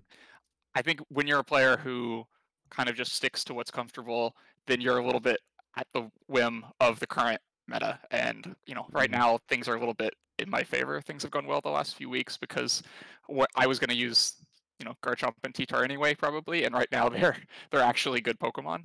Um, and the team's easier to pick up. But you saw Aaron had success with it after just like uh, a handful of of games of prep Mhm. um, because it has a little bit better matchup spread. There's like a clearer game plan to stuff like New Balance. yeah, I was like, if you just kind of, you know, not only, you know, had your own success uh, seeing a top eight with this, but you know, dumped it on Aaron, uh, in, you know, in the week leading up, and Aaron was able to, you know, clutch that invite with it after a 0-1 start. I definitely think there's some merit uh, to the team and strength uh, right now. I think that's awesome. Um, because when you're using Pokemon that are slower than Garchomp and Sand is up, it is a massive headache because it's mind games that are super in the Garchomp's favor of is it going to protect, is it going to earthquake, or is it going to sub, and are you going to even hit any of your moves into it? And yeah, I mean it's such an easy play to click sub, make someone make the read to break it because if they think you're going to protect instead just Mhm. leave the sub up, then they're in big trouble. And then their reward for that is an 80% chance to have still not just been in trouble. And the, if they're right, all they've done is deal, you know, 18% damage to Garchomp that I'll probably just heal off in a couple of turns. Mm-hmm. yeah, it's it is pretty evil. Uh, Yeah. like in a good way.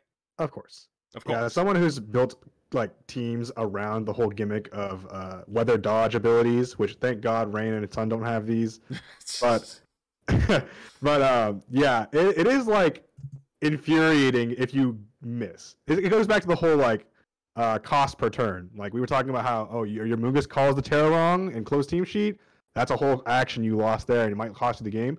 Garchomp is like the same, and it's even worse in this scenario if you have sub lefties protect, because it is just going to do something, but you have to kind of call what it's doing, and then even then you're still like not a guaranteed you're gonna get the turn at like a favorable position at the end game.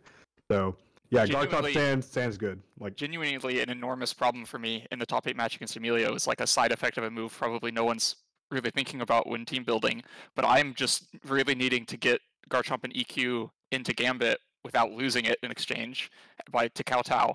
But Kowtow can't miss into Sand Veil. So Mhm. he can just break the sub for Oh. free the entire match. And like if I trade Garchomp for Gambit, I can never kill the hands. And it's like very difficult to play out of like I can't Honestly. I can't just wait for these misses. yeah, who all, who all forgot that move doesn't miss? 'Cause Yeah, there's like I, I three definitely different remember. clones that don't miss. I definitely remember making fun of it because I was like, "This is the third Dark type move they've printed that can't miss." They did, um, what's the original Feint Attack? Rain attack. Um, then they gave Grimmsnarl one that you've never seen. Honestly, like trivia question: Can anybody name the? If you know it, don't speak up. I want to see. Maybe Gavin doesn't know it. I feel like Gavin. False surrender. Gavin does have it. Yeah, it's called false surrender. Grimmsnarl got two signature moves for no reason. Then they ended up um getting uh Spirit Break onto one other Pokemon. Is it just uh Iron Valiant. yeah, no, Iron Valiant. Yeah, wonder if Squidward anything- got got on Iron Man. Yeah. I was curious if anything else got Spirit Break. Um False I Surrender is still Grimmsnarl's move though. Um so yeah.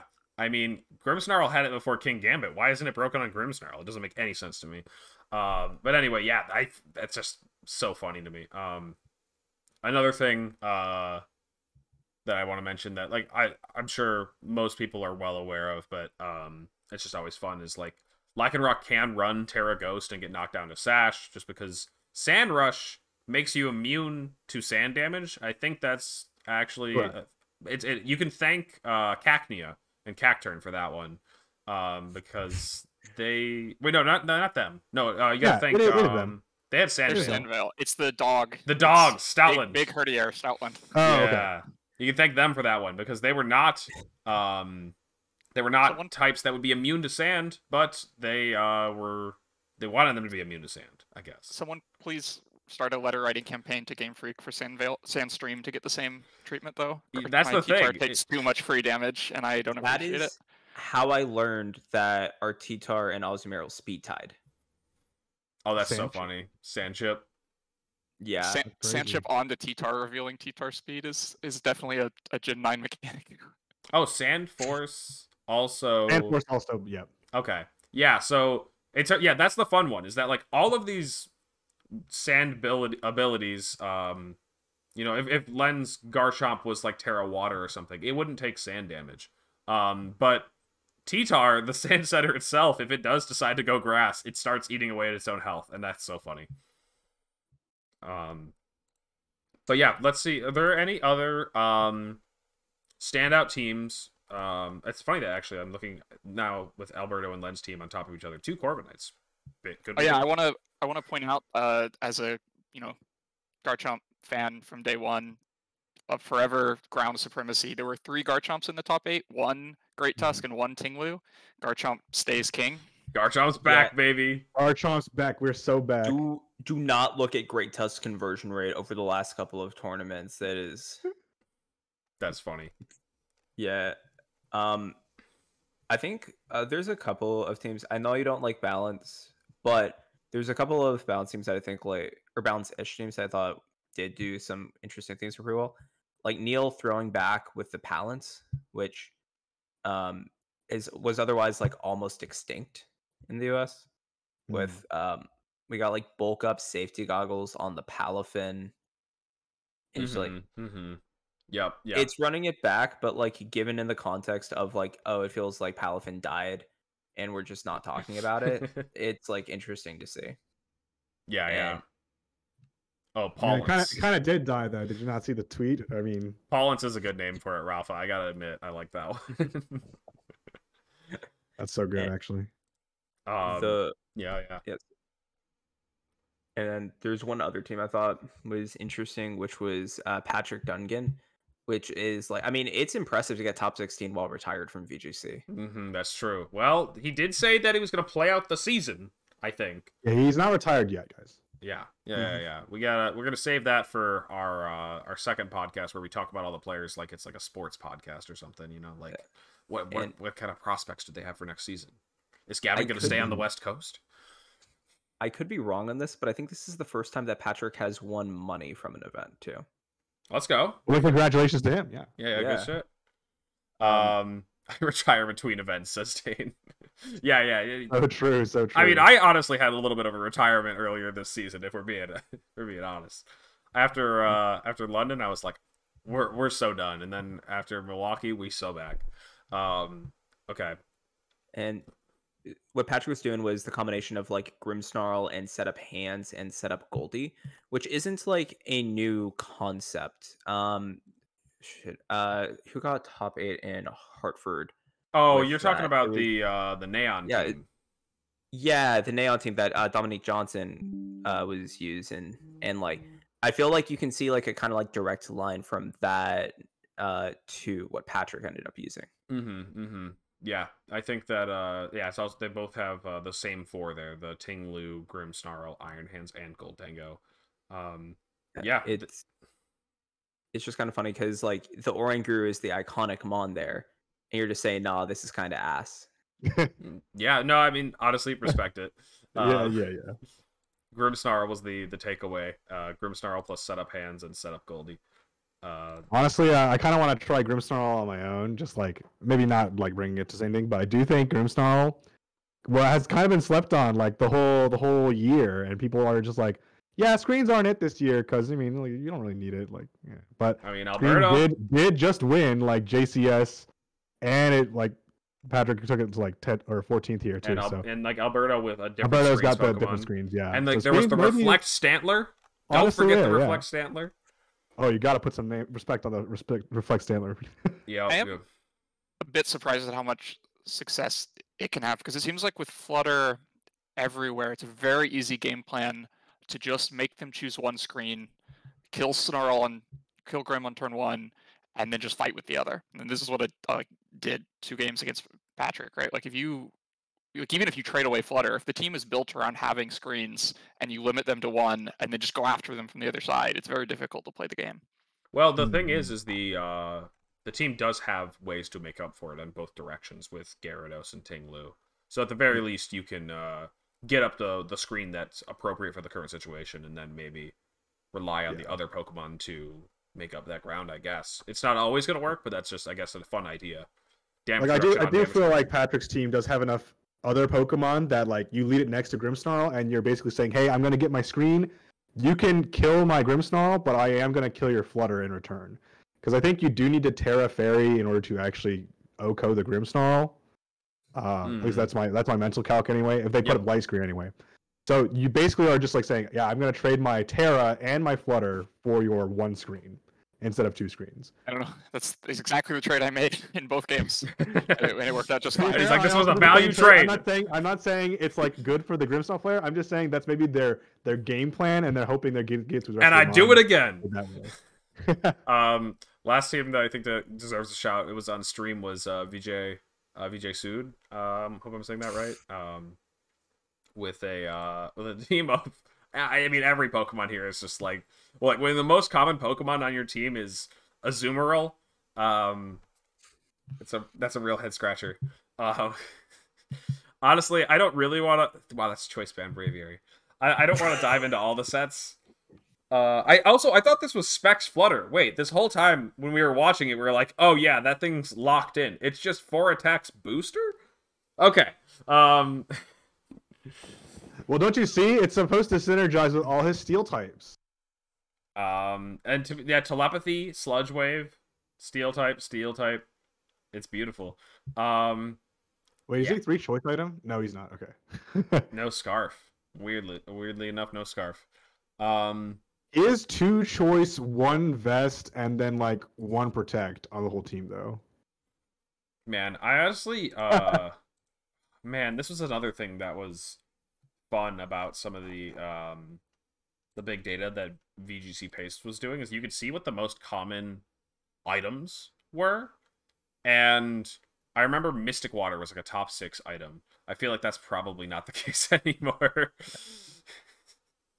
Yeah, I. All right, a couple other teams I want to mention. yeah, Um, Jimmy Friedel is using a Sun team without Sun. yeah, and then the Palafins there. Um, wait, could not for the life of me tell you how this team works. Honestly, this is uh wait a minute. Jimmy Friedel. I think Jimmy Friedel was at a Chicago local. I think I played Jimmy Jimmy at the because I remember playing this Palafin Tailwind team at the Chicago. Yeah, I'm pretty sure Jimmy Friedel was at the Chicago local. I played like two weeks ago, or three, four, five weeks ago. Um, yeah, with this So- exact team. Um, that is really funny.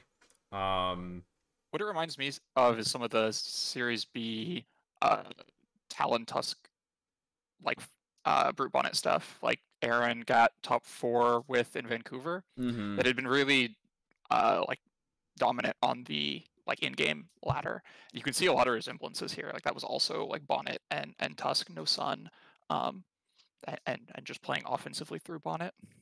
hmm Um, yeah, that makes sense because in Tailwind, like you can make Brute Bonnet outrun uh, Flutter Mane, right?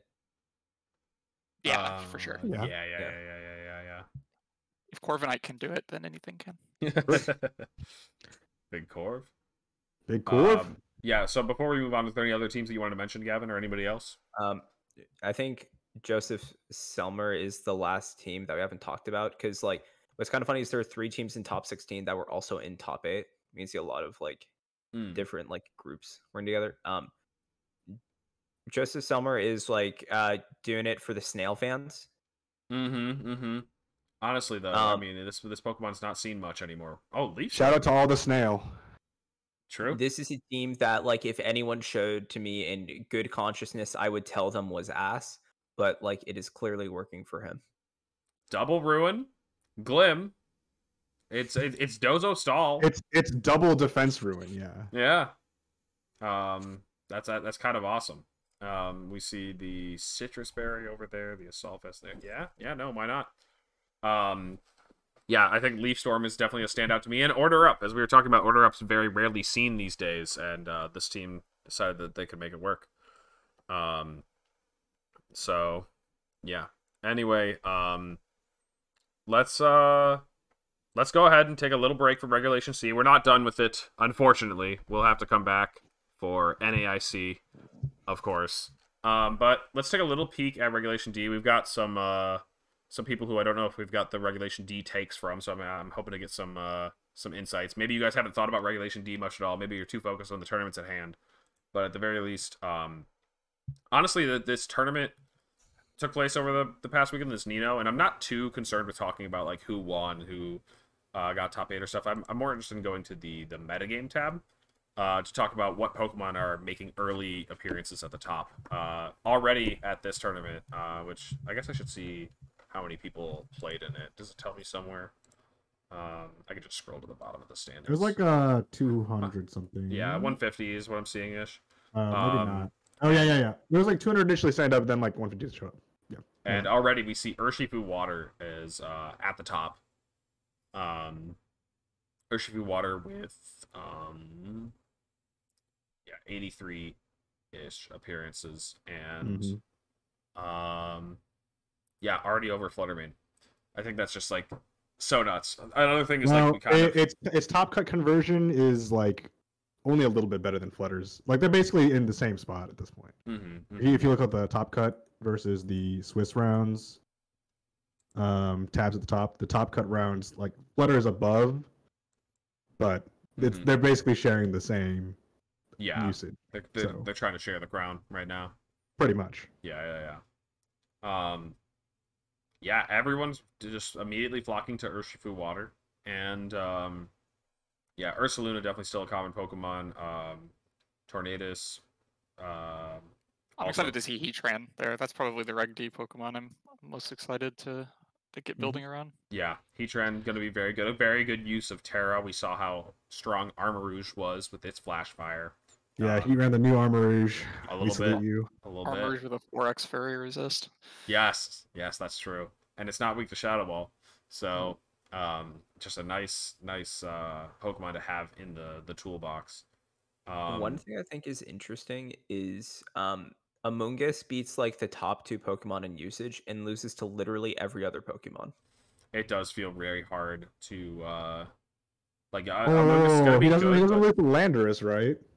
but- uh, Until Yeah. we get the terrifying Tera Blast ones. terrifying Tera Blast might be might be something. Well, I just choose not to see it, honestly. I choose not to. say it. I could- and then Regieleki. Honestly, I think so. Regieleki. I know this is just like one tournament, but Regieleki's win percentage was 44, which is like, I don't know. That's pretty notably below uh the median, the the middle, the middling numbers. Yeah, but it had a zero conversion rate.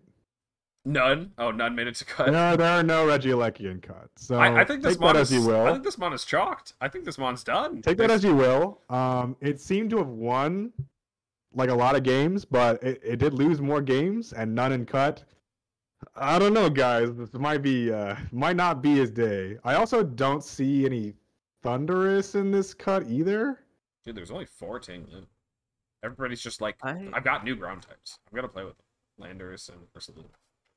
I don't think that we can say too much about what the meta will shape up or for what's actually like that like going to be that dominant just so much as like I think that like Urshifu Rapid Strike's immediate damage of one-shotting the format is going to be like the most obviously strong thing and then it'll take a while for us to figure out how to actually deal with it. Mm-hmm. And like carefully crafted speed control teams with Regieleki, Iron Bundle, Tornadus that will do everything in their power to get speed advantage. Like those will come, but it'll take a while to fully come out. Until then, Urshifu Rapid Strike over.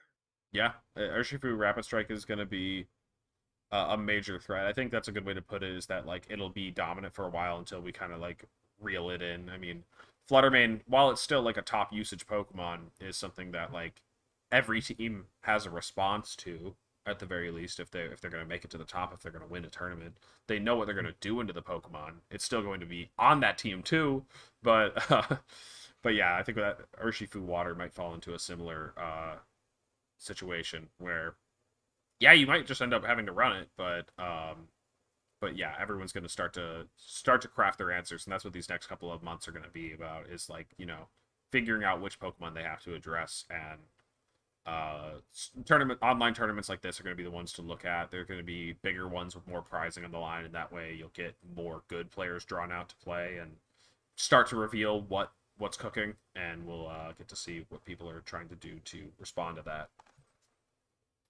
Yeah, I do think like from a um a threats standpoint, as we're mentioning, it does seem like it, it's like a mix of like all the different formats that I might have been like have played before. You've got the Chien-Pao Dragonite from Regulation C.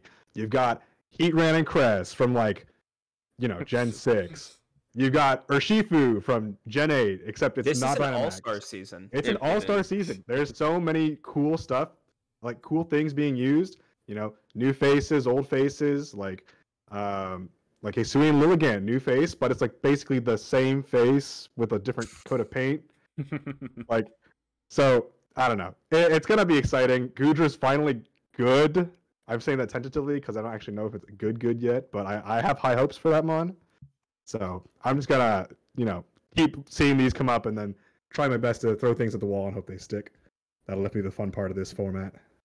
Yeah, we are definitely still missing some important tools, as uh, Abe points out. Uh, Insin, the Tapus, and stuff. We don't have everybody. Uh, True. If we had Tapu Koko, man, what a format! It would be. Amazing. I mean, honestly, we still are missing a uh, a Misty Terrain setter. We don't have anything to do to do that. Yeah, I for us. dream of Fini. We're Right. also missing all the Ultra Beasts. Yeah. Oh, some Of the, some of those Ultra Beasts would be mega mega impactful, especially with Tera, Tera Fire Kartana. What are you gonna do? Yo, imagine a format you have like three Celesteelas. You already have Goodra. Now you're gonna have And, and Uh, yeah. Wo-Chien, and then you have actual Celesteela, and you have Yeah. Rillaboom. If for anyone who's using not Rillaboom, um, Chesnaught. That's the one. Some of the other like uh, big winners from again just this tournament um, were Dragonite and Indeedee. Those were Pokemon that saw uh, pretty decent win rates um, for Pokemon with like a respectable amount of uses. Um, another big loser was Torkoal. Uh, Torkoal teams like I, I I think it's just because like people love to put Torkoal on bad teams. They're like, oh, I'm gonna get my Trick Room up, and it's gonna be easy, GG, baby. Like it's over as soon as I get up Trick Room and click Eruption, and then it's like, oh, Heatran's back. Oh, Heatran's back. No. Oh yes. Oh yes. Um, if you go down a little further, Sneasler's there too, but oh, Sneasler's gonna be the casual people. This, this mod would even though, but people are gonna love Sneasler. Like the Rillaboom, Grassy Seed, let's go. I honestly though, it, it's been a funny Pokemon. Uh, I think that mod might be okay. Um, it's, gonna probably be like certifiably okay, not broken, not bad, but like I think it's slightly better Hawlucha. So I think if you thought Hawlucha was like niche, then this will be slightly less niche. slightly slightly more usable. Yeah. Oh, actually, if you scroll down right below Sneasler, uh, Urshifu Dark was in here, and um, it I think it did make it to second, but everybody else that was using it was not doing too hot. Um, but yeah. Um, what was I gonna mention? Um, so this this other thing that I'm curious about, uh, for both of you guys, um, and uh, I think actually I don't know if I got the chance to uh, ask Len about this in Milwaukee, but yeah, Gavin, Len, um, mm-hmm. Jon, I actually don't know if you've given your take on this on the podcast too. Are you guys for or against Worlds being in a new format? Obviously, we don't have a say in like it's it's already you know going to be happening. Uh, there's no changing it, but Worlds, you know, this is the first time Worlds is going to be in a new format, and it's something that's been incredibly divisive uh, in the community. I've seen plenty of people on both sides, and so I thought it was worth revisiting this uh, topic, uh, especially as we've had a couple more uh, I guess it's like a week or two now since the announcement. But yeah, uh, I guess like let's just go around. I'll I'll grab Gavin first. Gavin, what do you think? I'm neutral on it being a new format. I'm anti it being this format. Yeah, so that's a, I'm glad that you brought that up right away. Is um, I want to kind of like yeah ignore that part of it. Is like the format aside. If this was the best format we are ever going to play, the worst format we're ever going to play, um, my take is always that every format is fun for the first tournament. Uh, mm-hmm. so at the very least, I think Worlds will be fun because it's a brand new format and we won't realize why it sucks. Uh, maybe we will because it's going to have two months to grow. But I'm rambling and I'm giving my own takes. Gavin, uh, yeah, uh, do you have anything else to say on it? I think that there's nothing inherently wrong with Worlds being a new format. I can think of several years where Worlds might have been a bit better, if it was like a brand new format. Mm-hmm. Um, I think like part of it, what it is, is like VGC isn't really a game where you're trying to get like years of like mastery and like really like getting into all the minutia of it.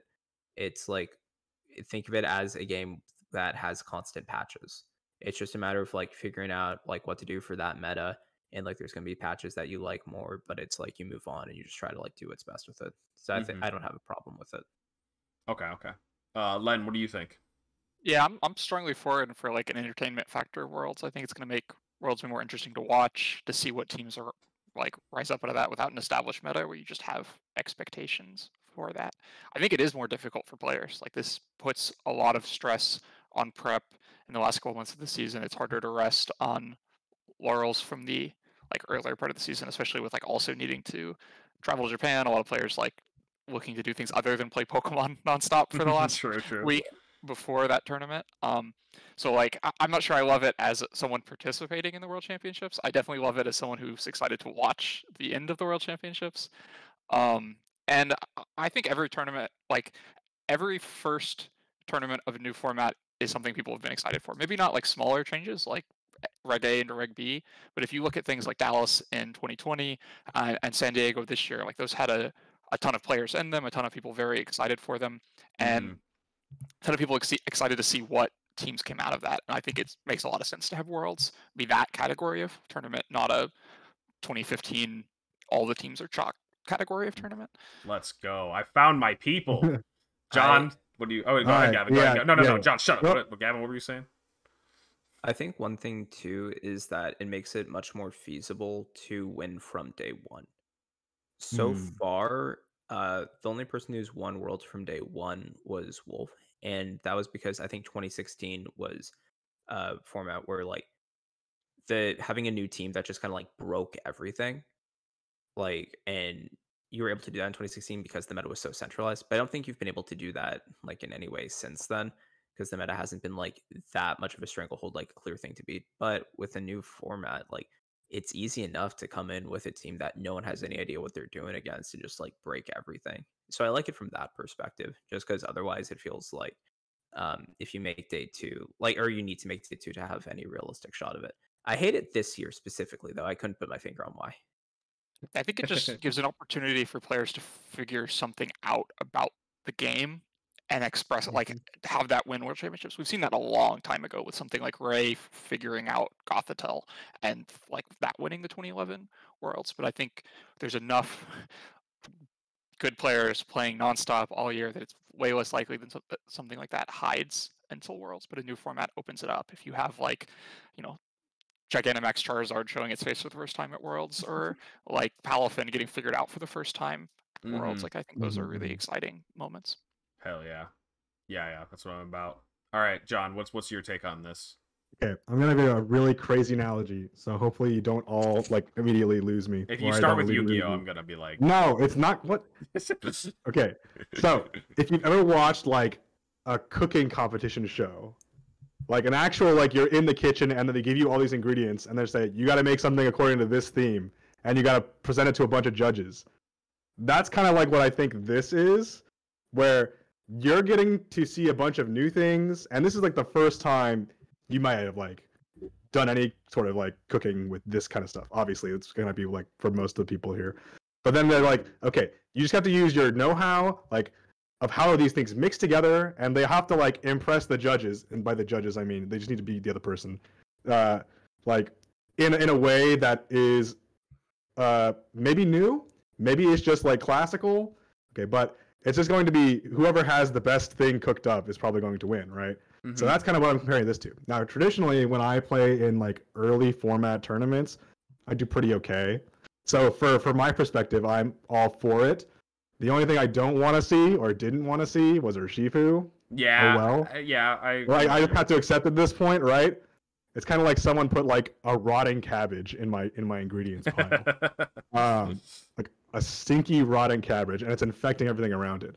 Uh, but other than that, I uh, like love all the other Pokemon.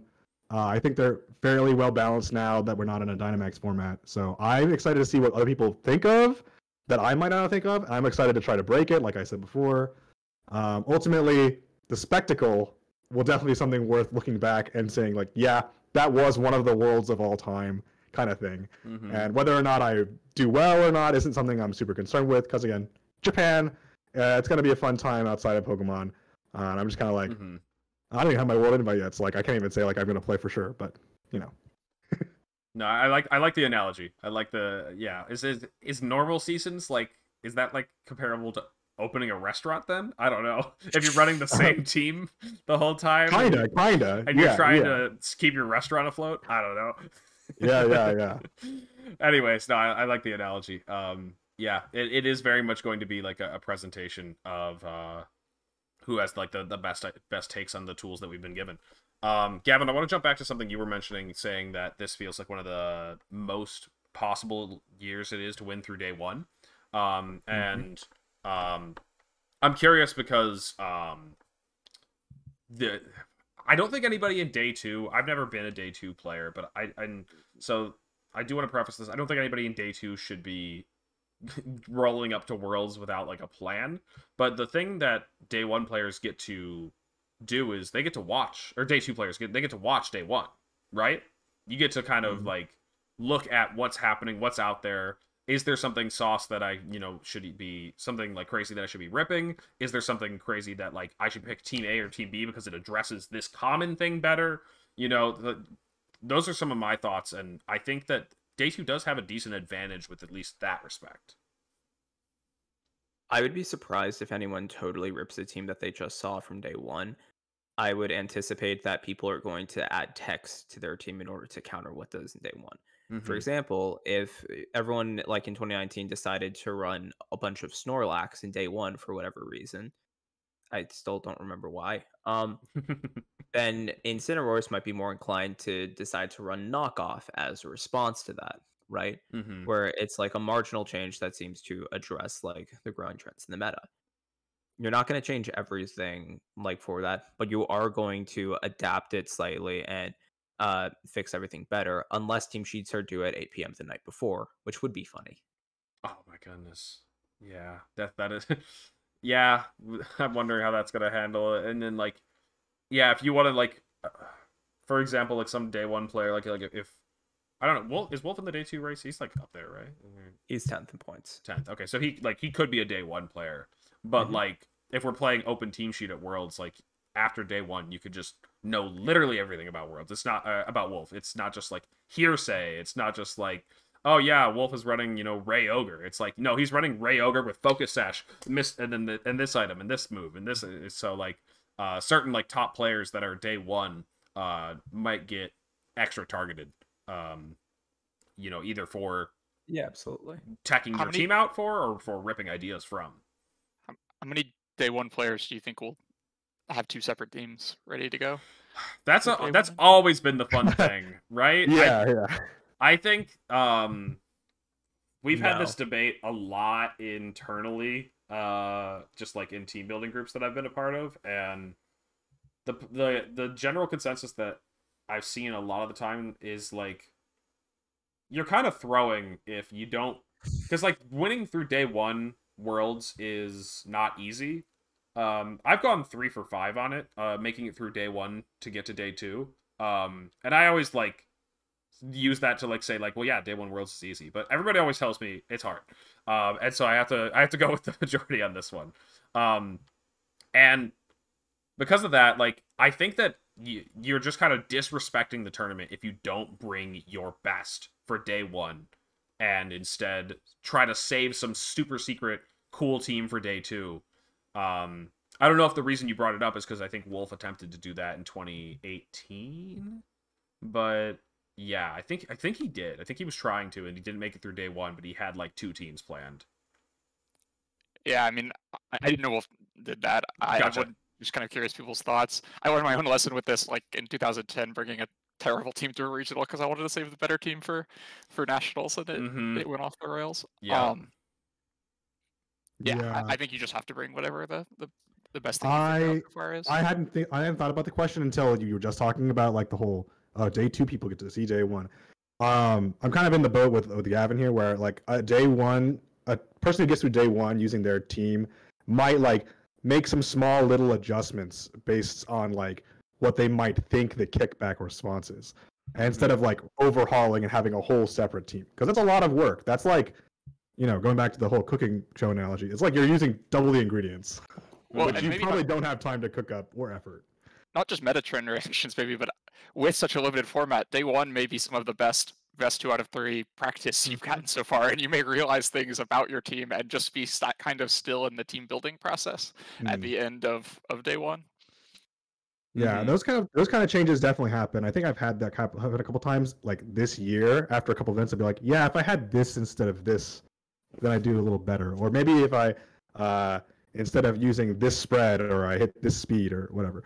So those kind of tweaks, if you go through day one, are probably the tweaks you take uh, going into day two if you really feel that strongly about them. Otherwise, I think it's not really worth the payout of building a second team uh, for the use of like for using at another stage. There has been only one player who has made it through day one or LCQ or whatever, and then switch teams and then top cut day two. Does anyone know who that is? Did they switch full teams, or was it just like a one They mon change? full teams. Hmm. No, I don't know. Hmm. I was I'll thinking give of you a a. hint. Okay, go ahead. It was from dual primals to Zerndon. Oh my. This is your VGC history trivia of the day. Mm. Anyone know? Yeah, I'm, Uh, I'm. I don't know this one. Is it uh? Cerndon? Was it Edu? It was Alejandro Jimenez, Legacy VGC. Oh, okay, okay. Oh, I It kind of sounds like something he would do. Cypher said the same thing. Okay. Mhm. Yeah, yeah, yeah. That makes sense. I, I was thinking somebody who actually made it all the way into like top eight or something, but I forgot. Worlds is like a bigger cut. Uh, Yeah, Yeah. and maybe he would have done better if he just stuck to the same team. but hey, It's maybe, hey, he did. You said he cut. He got top 24, I think. That's that's still pretty reasonable, honestly. I Yeah. mean, uh, making it to the single elimination stage, right? Because that's what I think it was. The Yeah. top twenty-four. I Mhm. think the funniest example of someone changing their team and going catastrophically wrong, though, is Nosh, who I believe it was 2012 Worlds, uh, wanted to save his team for the main tournament, so brought something standard through LCQ, and immediately lost in round two to Illuminate Starmie. Illuminate Starmie, let's go! Yeah, baby. Honestly, they should just make Illuminate give you a free bright powder. Who's with me? it just no, no, no. Let's make it better than that. Like, what if it's like when you switch it in, it's like flash on both of the opposing Pokemon, so it just drops their accuracy. Okay, okay. Yeah. What if. Illuminate gives you $500? Oh, that'd be that- that- cool too, that's always the joke about you know winning a tournament with amulet coin. It's like it doesn't do anything for you in a competitive VGC game, so you should get extra prize money for it, They should write that into the rule document somewhere. Mhm. right? Come on.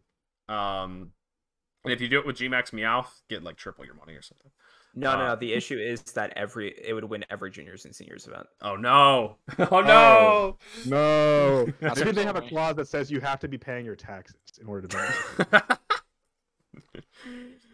okay, I'm gonna I'm gonna go ahead and move us on to the last segment here. We're nearing the two hour mark, um, and um, and we still have to play the calc is right. Um, I actually think we're going to start with Jon's calc because um, because I saw that he actually put it in the doc. So, um, but yeah, I guess I should re- quick refresh people. We're playing the calc is right, where uh, we're all going to take a turn presenting a calc, and then everybody else is going to guess. You guess a number that's within the percentage range. So if you think it's going to do like 90 to 100%, you might say like 95. Um, and then we uh, we check if you were within in the range or out, and you get the point. We don't actually track the points. It's like who's line or whatever it's all for funsies. it's all for funsies. Um, and so, um, Jon, why don't you go ahead and um, start with yours? All right, guys. We are brambled up, so my calc has a Brambleghast in it. Hopefully, you know your Brambleghast. Do you want to put it in the Twitch chat or am I? Uh, I guess I will because I, I already have it. Okay. Um, actually, no, you do it because you're the you're the mod, right? Or I'll, the I'll, I'll grab it. broadcaster. Yeah, whatever. I am the, I am Anyway. the broadcaster. So let's let's let's set the stage. You've tailwinded once, so bramble Brambleghast gets a plus one attack boost from your own tailwind, and then later they bring the opponent brings in a Flutter Mane, and you're gonna shadow sneak at plus one. You don't have a boosting item, and you're uh, jolly nature, so it's like 252 plus one Brambleghast versus this pretty bulky Flutter Mane, but it came in after you got the plus one. So how much does this do? All right. What's the- um, what's so yeah, we'll have the the Flutter Mane spread. 252 68. 252.68. So it's a pretty Oh, that's decently bulky. It's pretty flutter. fat. Um, all right. So when you we but what we normally do is we just kind of verbally announce that you're locked in when you're ready, and then Jon will call on people to give their answers. Um, and it's just kind of gentleman's rule, like don't just steal somebody else's guess. but unless they happen to steal your guess, then you have to pick a number. Um, I I'm locked in. Okay, I, I'm locked in. You're locked. Okay, Len. You're. I think you're muted. Either that or 105. Oh wait, okay, okay. Um, Okay, so we got 105. Wait, out. Okay, so, well, okay, so he's, he's I guess Len's going first. Len's going 105. All right. How about you, Gavin? Oh, I was gonna say 60. Um, Okay. I'll split the difference. Interesting. Interesting. I'll split the difference. I'm giving it 86. Okay, let's type this bad boy in. Oh yeah, I gotta put it in. I because I played a Brambleghast at a PC recently. Oh, okay. Uh, we don't. And it didn't do any damage, for it, right? Yeah, it was Shadow Sneak, and I think it Shadow Snuck my bulky Flutter Mane. I don't remember it doing very much. But was it plus one? Because it is plus No. one right now. no, it wasn't. So maybe like that's where I'm messing up, and maybe it is more towards Alex's range of things. Was your Flutter Mane still Ghost type? That's what I'm hoping for here. Good question. I think I'm missing just the plus one. Yeah, there weren't any Teras or anything. There was no Tera. Um, 252. Is this correct, Jon? Oh wait, no, we have adamant. We gotta change it to jolly. I'm in there. Let's go. Yep, there it is. It's so just, uh, it looks like it's just me. The the final answer is 82 to 100. Um, it looks like Dane snuck in there. Um, Oh wow.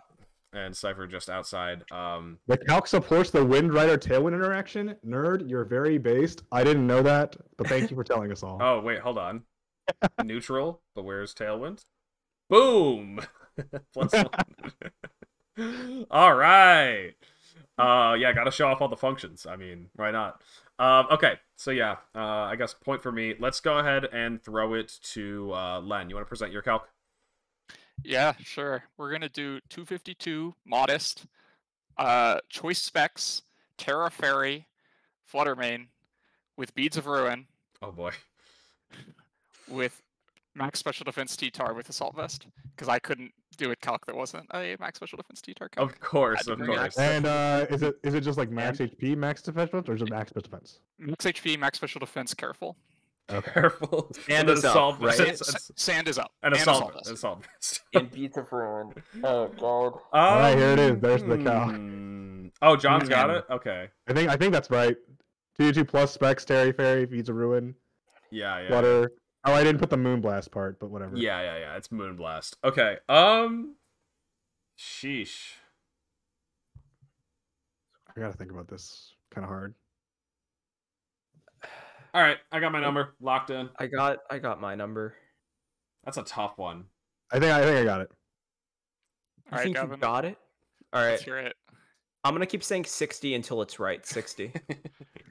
He's riding the he's riding the, he's riding like the hypnosis. He's riding the hypnosis train. Who's next? You want me to go?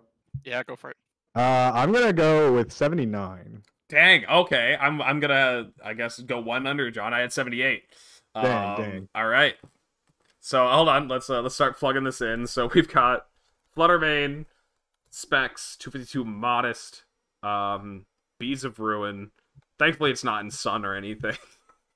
um, True. We don't have Proto activated. Uh, Tera Fairy active. yeah, I, I, I think everything's gonna get reset when I put in the Tyranitar. So Terraflag AV, sure. 252, 252. Careful. Careful. This thing might as well be a Blissey. Um, Facts. uh, I think that's everything for the Tyranitar, and then we gotta get Beads of Ruin. You gotta put beads Tera up again and Tera up. Um, Oh, it's Tera Fairy. Crap. quick, up quick, apply a four over three.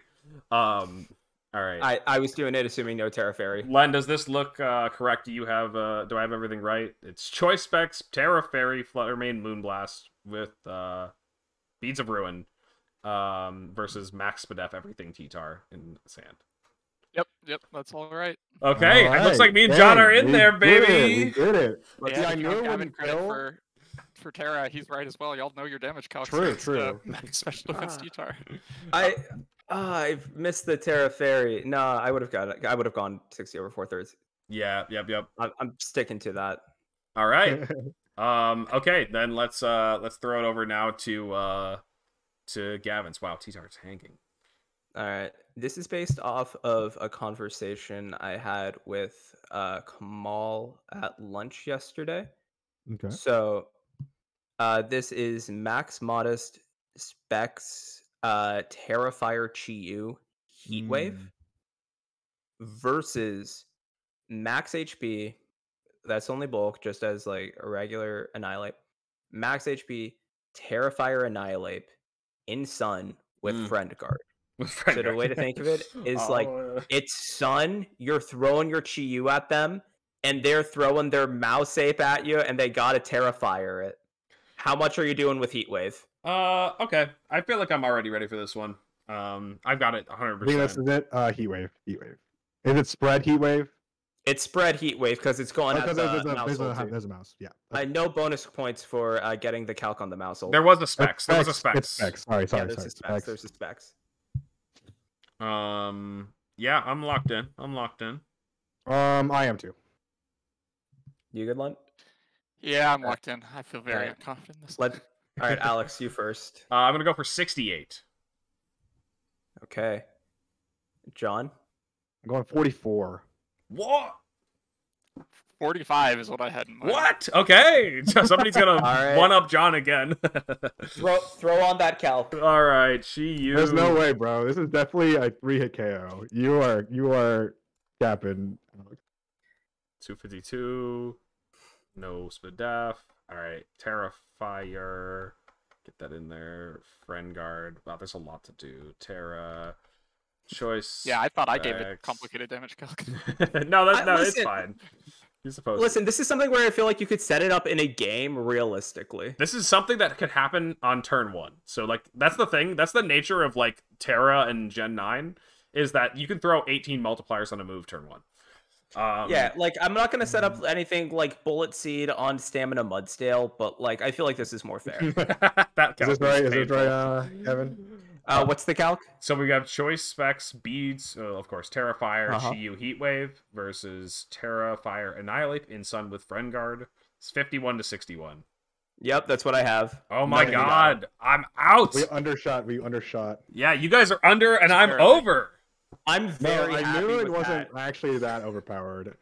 Bro, the amount of times I have heat waved something in sun and have saw it do like no damage with Armarouge is depressing. But this also is messed up because uh like I can't exactly describe how the game would go, but like if this Annihilape like I don't know messed up and clicked bulk up that turn, Uh, and the protect there's a protect on the mouse. It would actually take another one if it was if it was Sitrus berry. Sorry. yeah, not- Sitrus berry. Um, it had to be Sitrus. Yeah, have to be Terrifying thing is that means overheat goes over on like as a roll for a one shot. yeah, no, overheat can kill. Overheat can kill. And I, Yeah. I was going to do that one, but I thought that people would just say it'll kill or not, and I thought No, but the just thing, the fun thing is, is that even if you're confident it'll kill, you have to say the percent.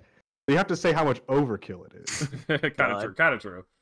Uh, yeah, if you just put it at hundred, then you would be right within there. I, I like the heat wave choice. It was a bit weird. Um, all right, I'm gonna bring it into uh to regulation D. Um, we've got a couple multipliers on this one. Uh, choice specs and Tera Dragon. Um, Mm, here we go. Dragon Energy from Regidrago Aw. into a no bulk Urshifu, but you're at fifty percent. Oh no.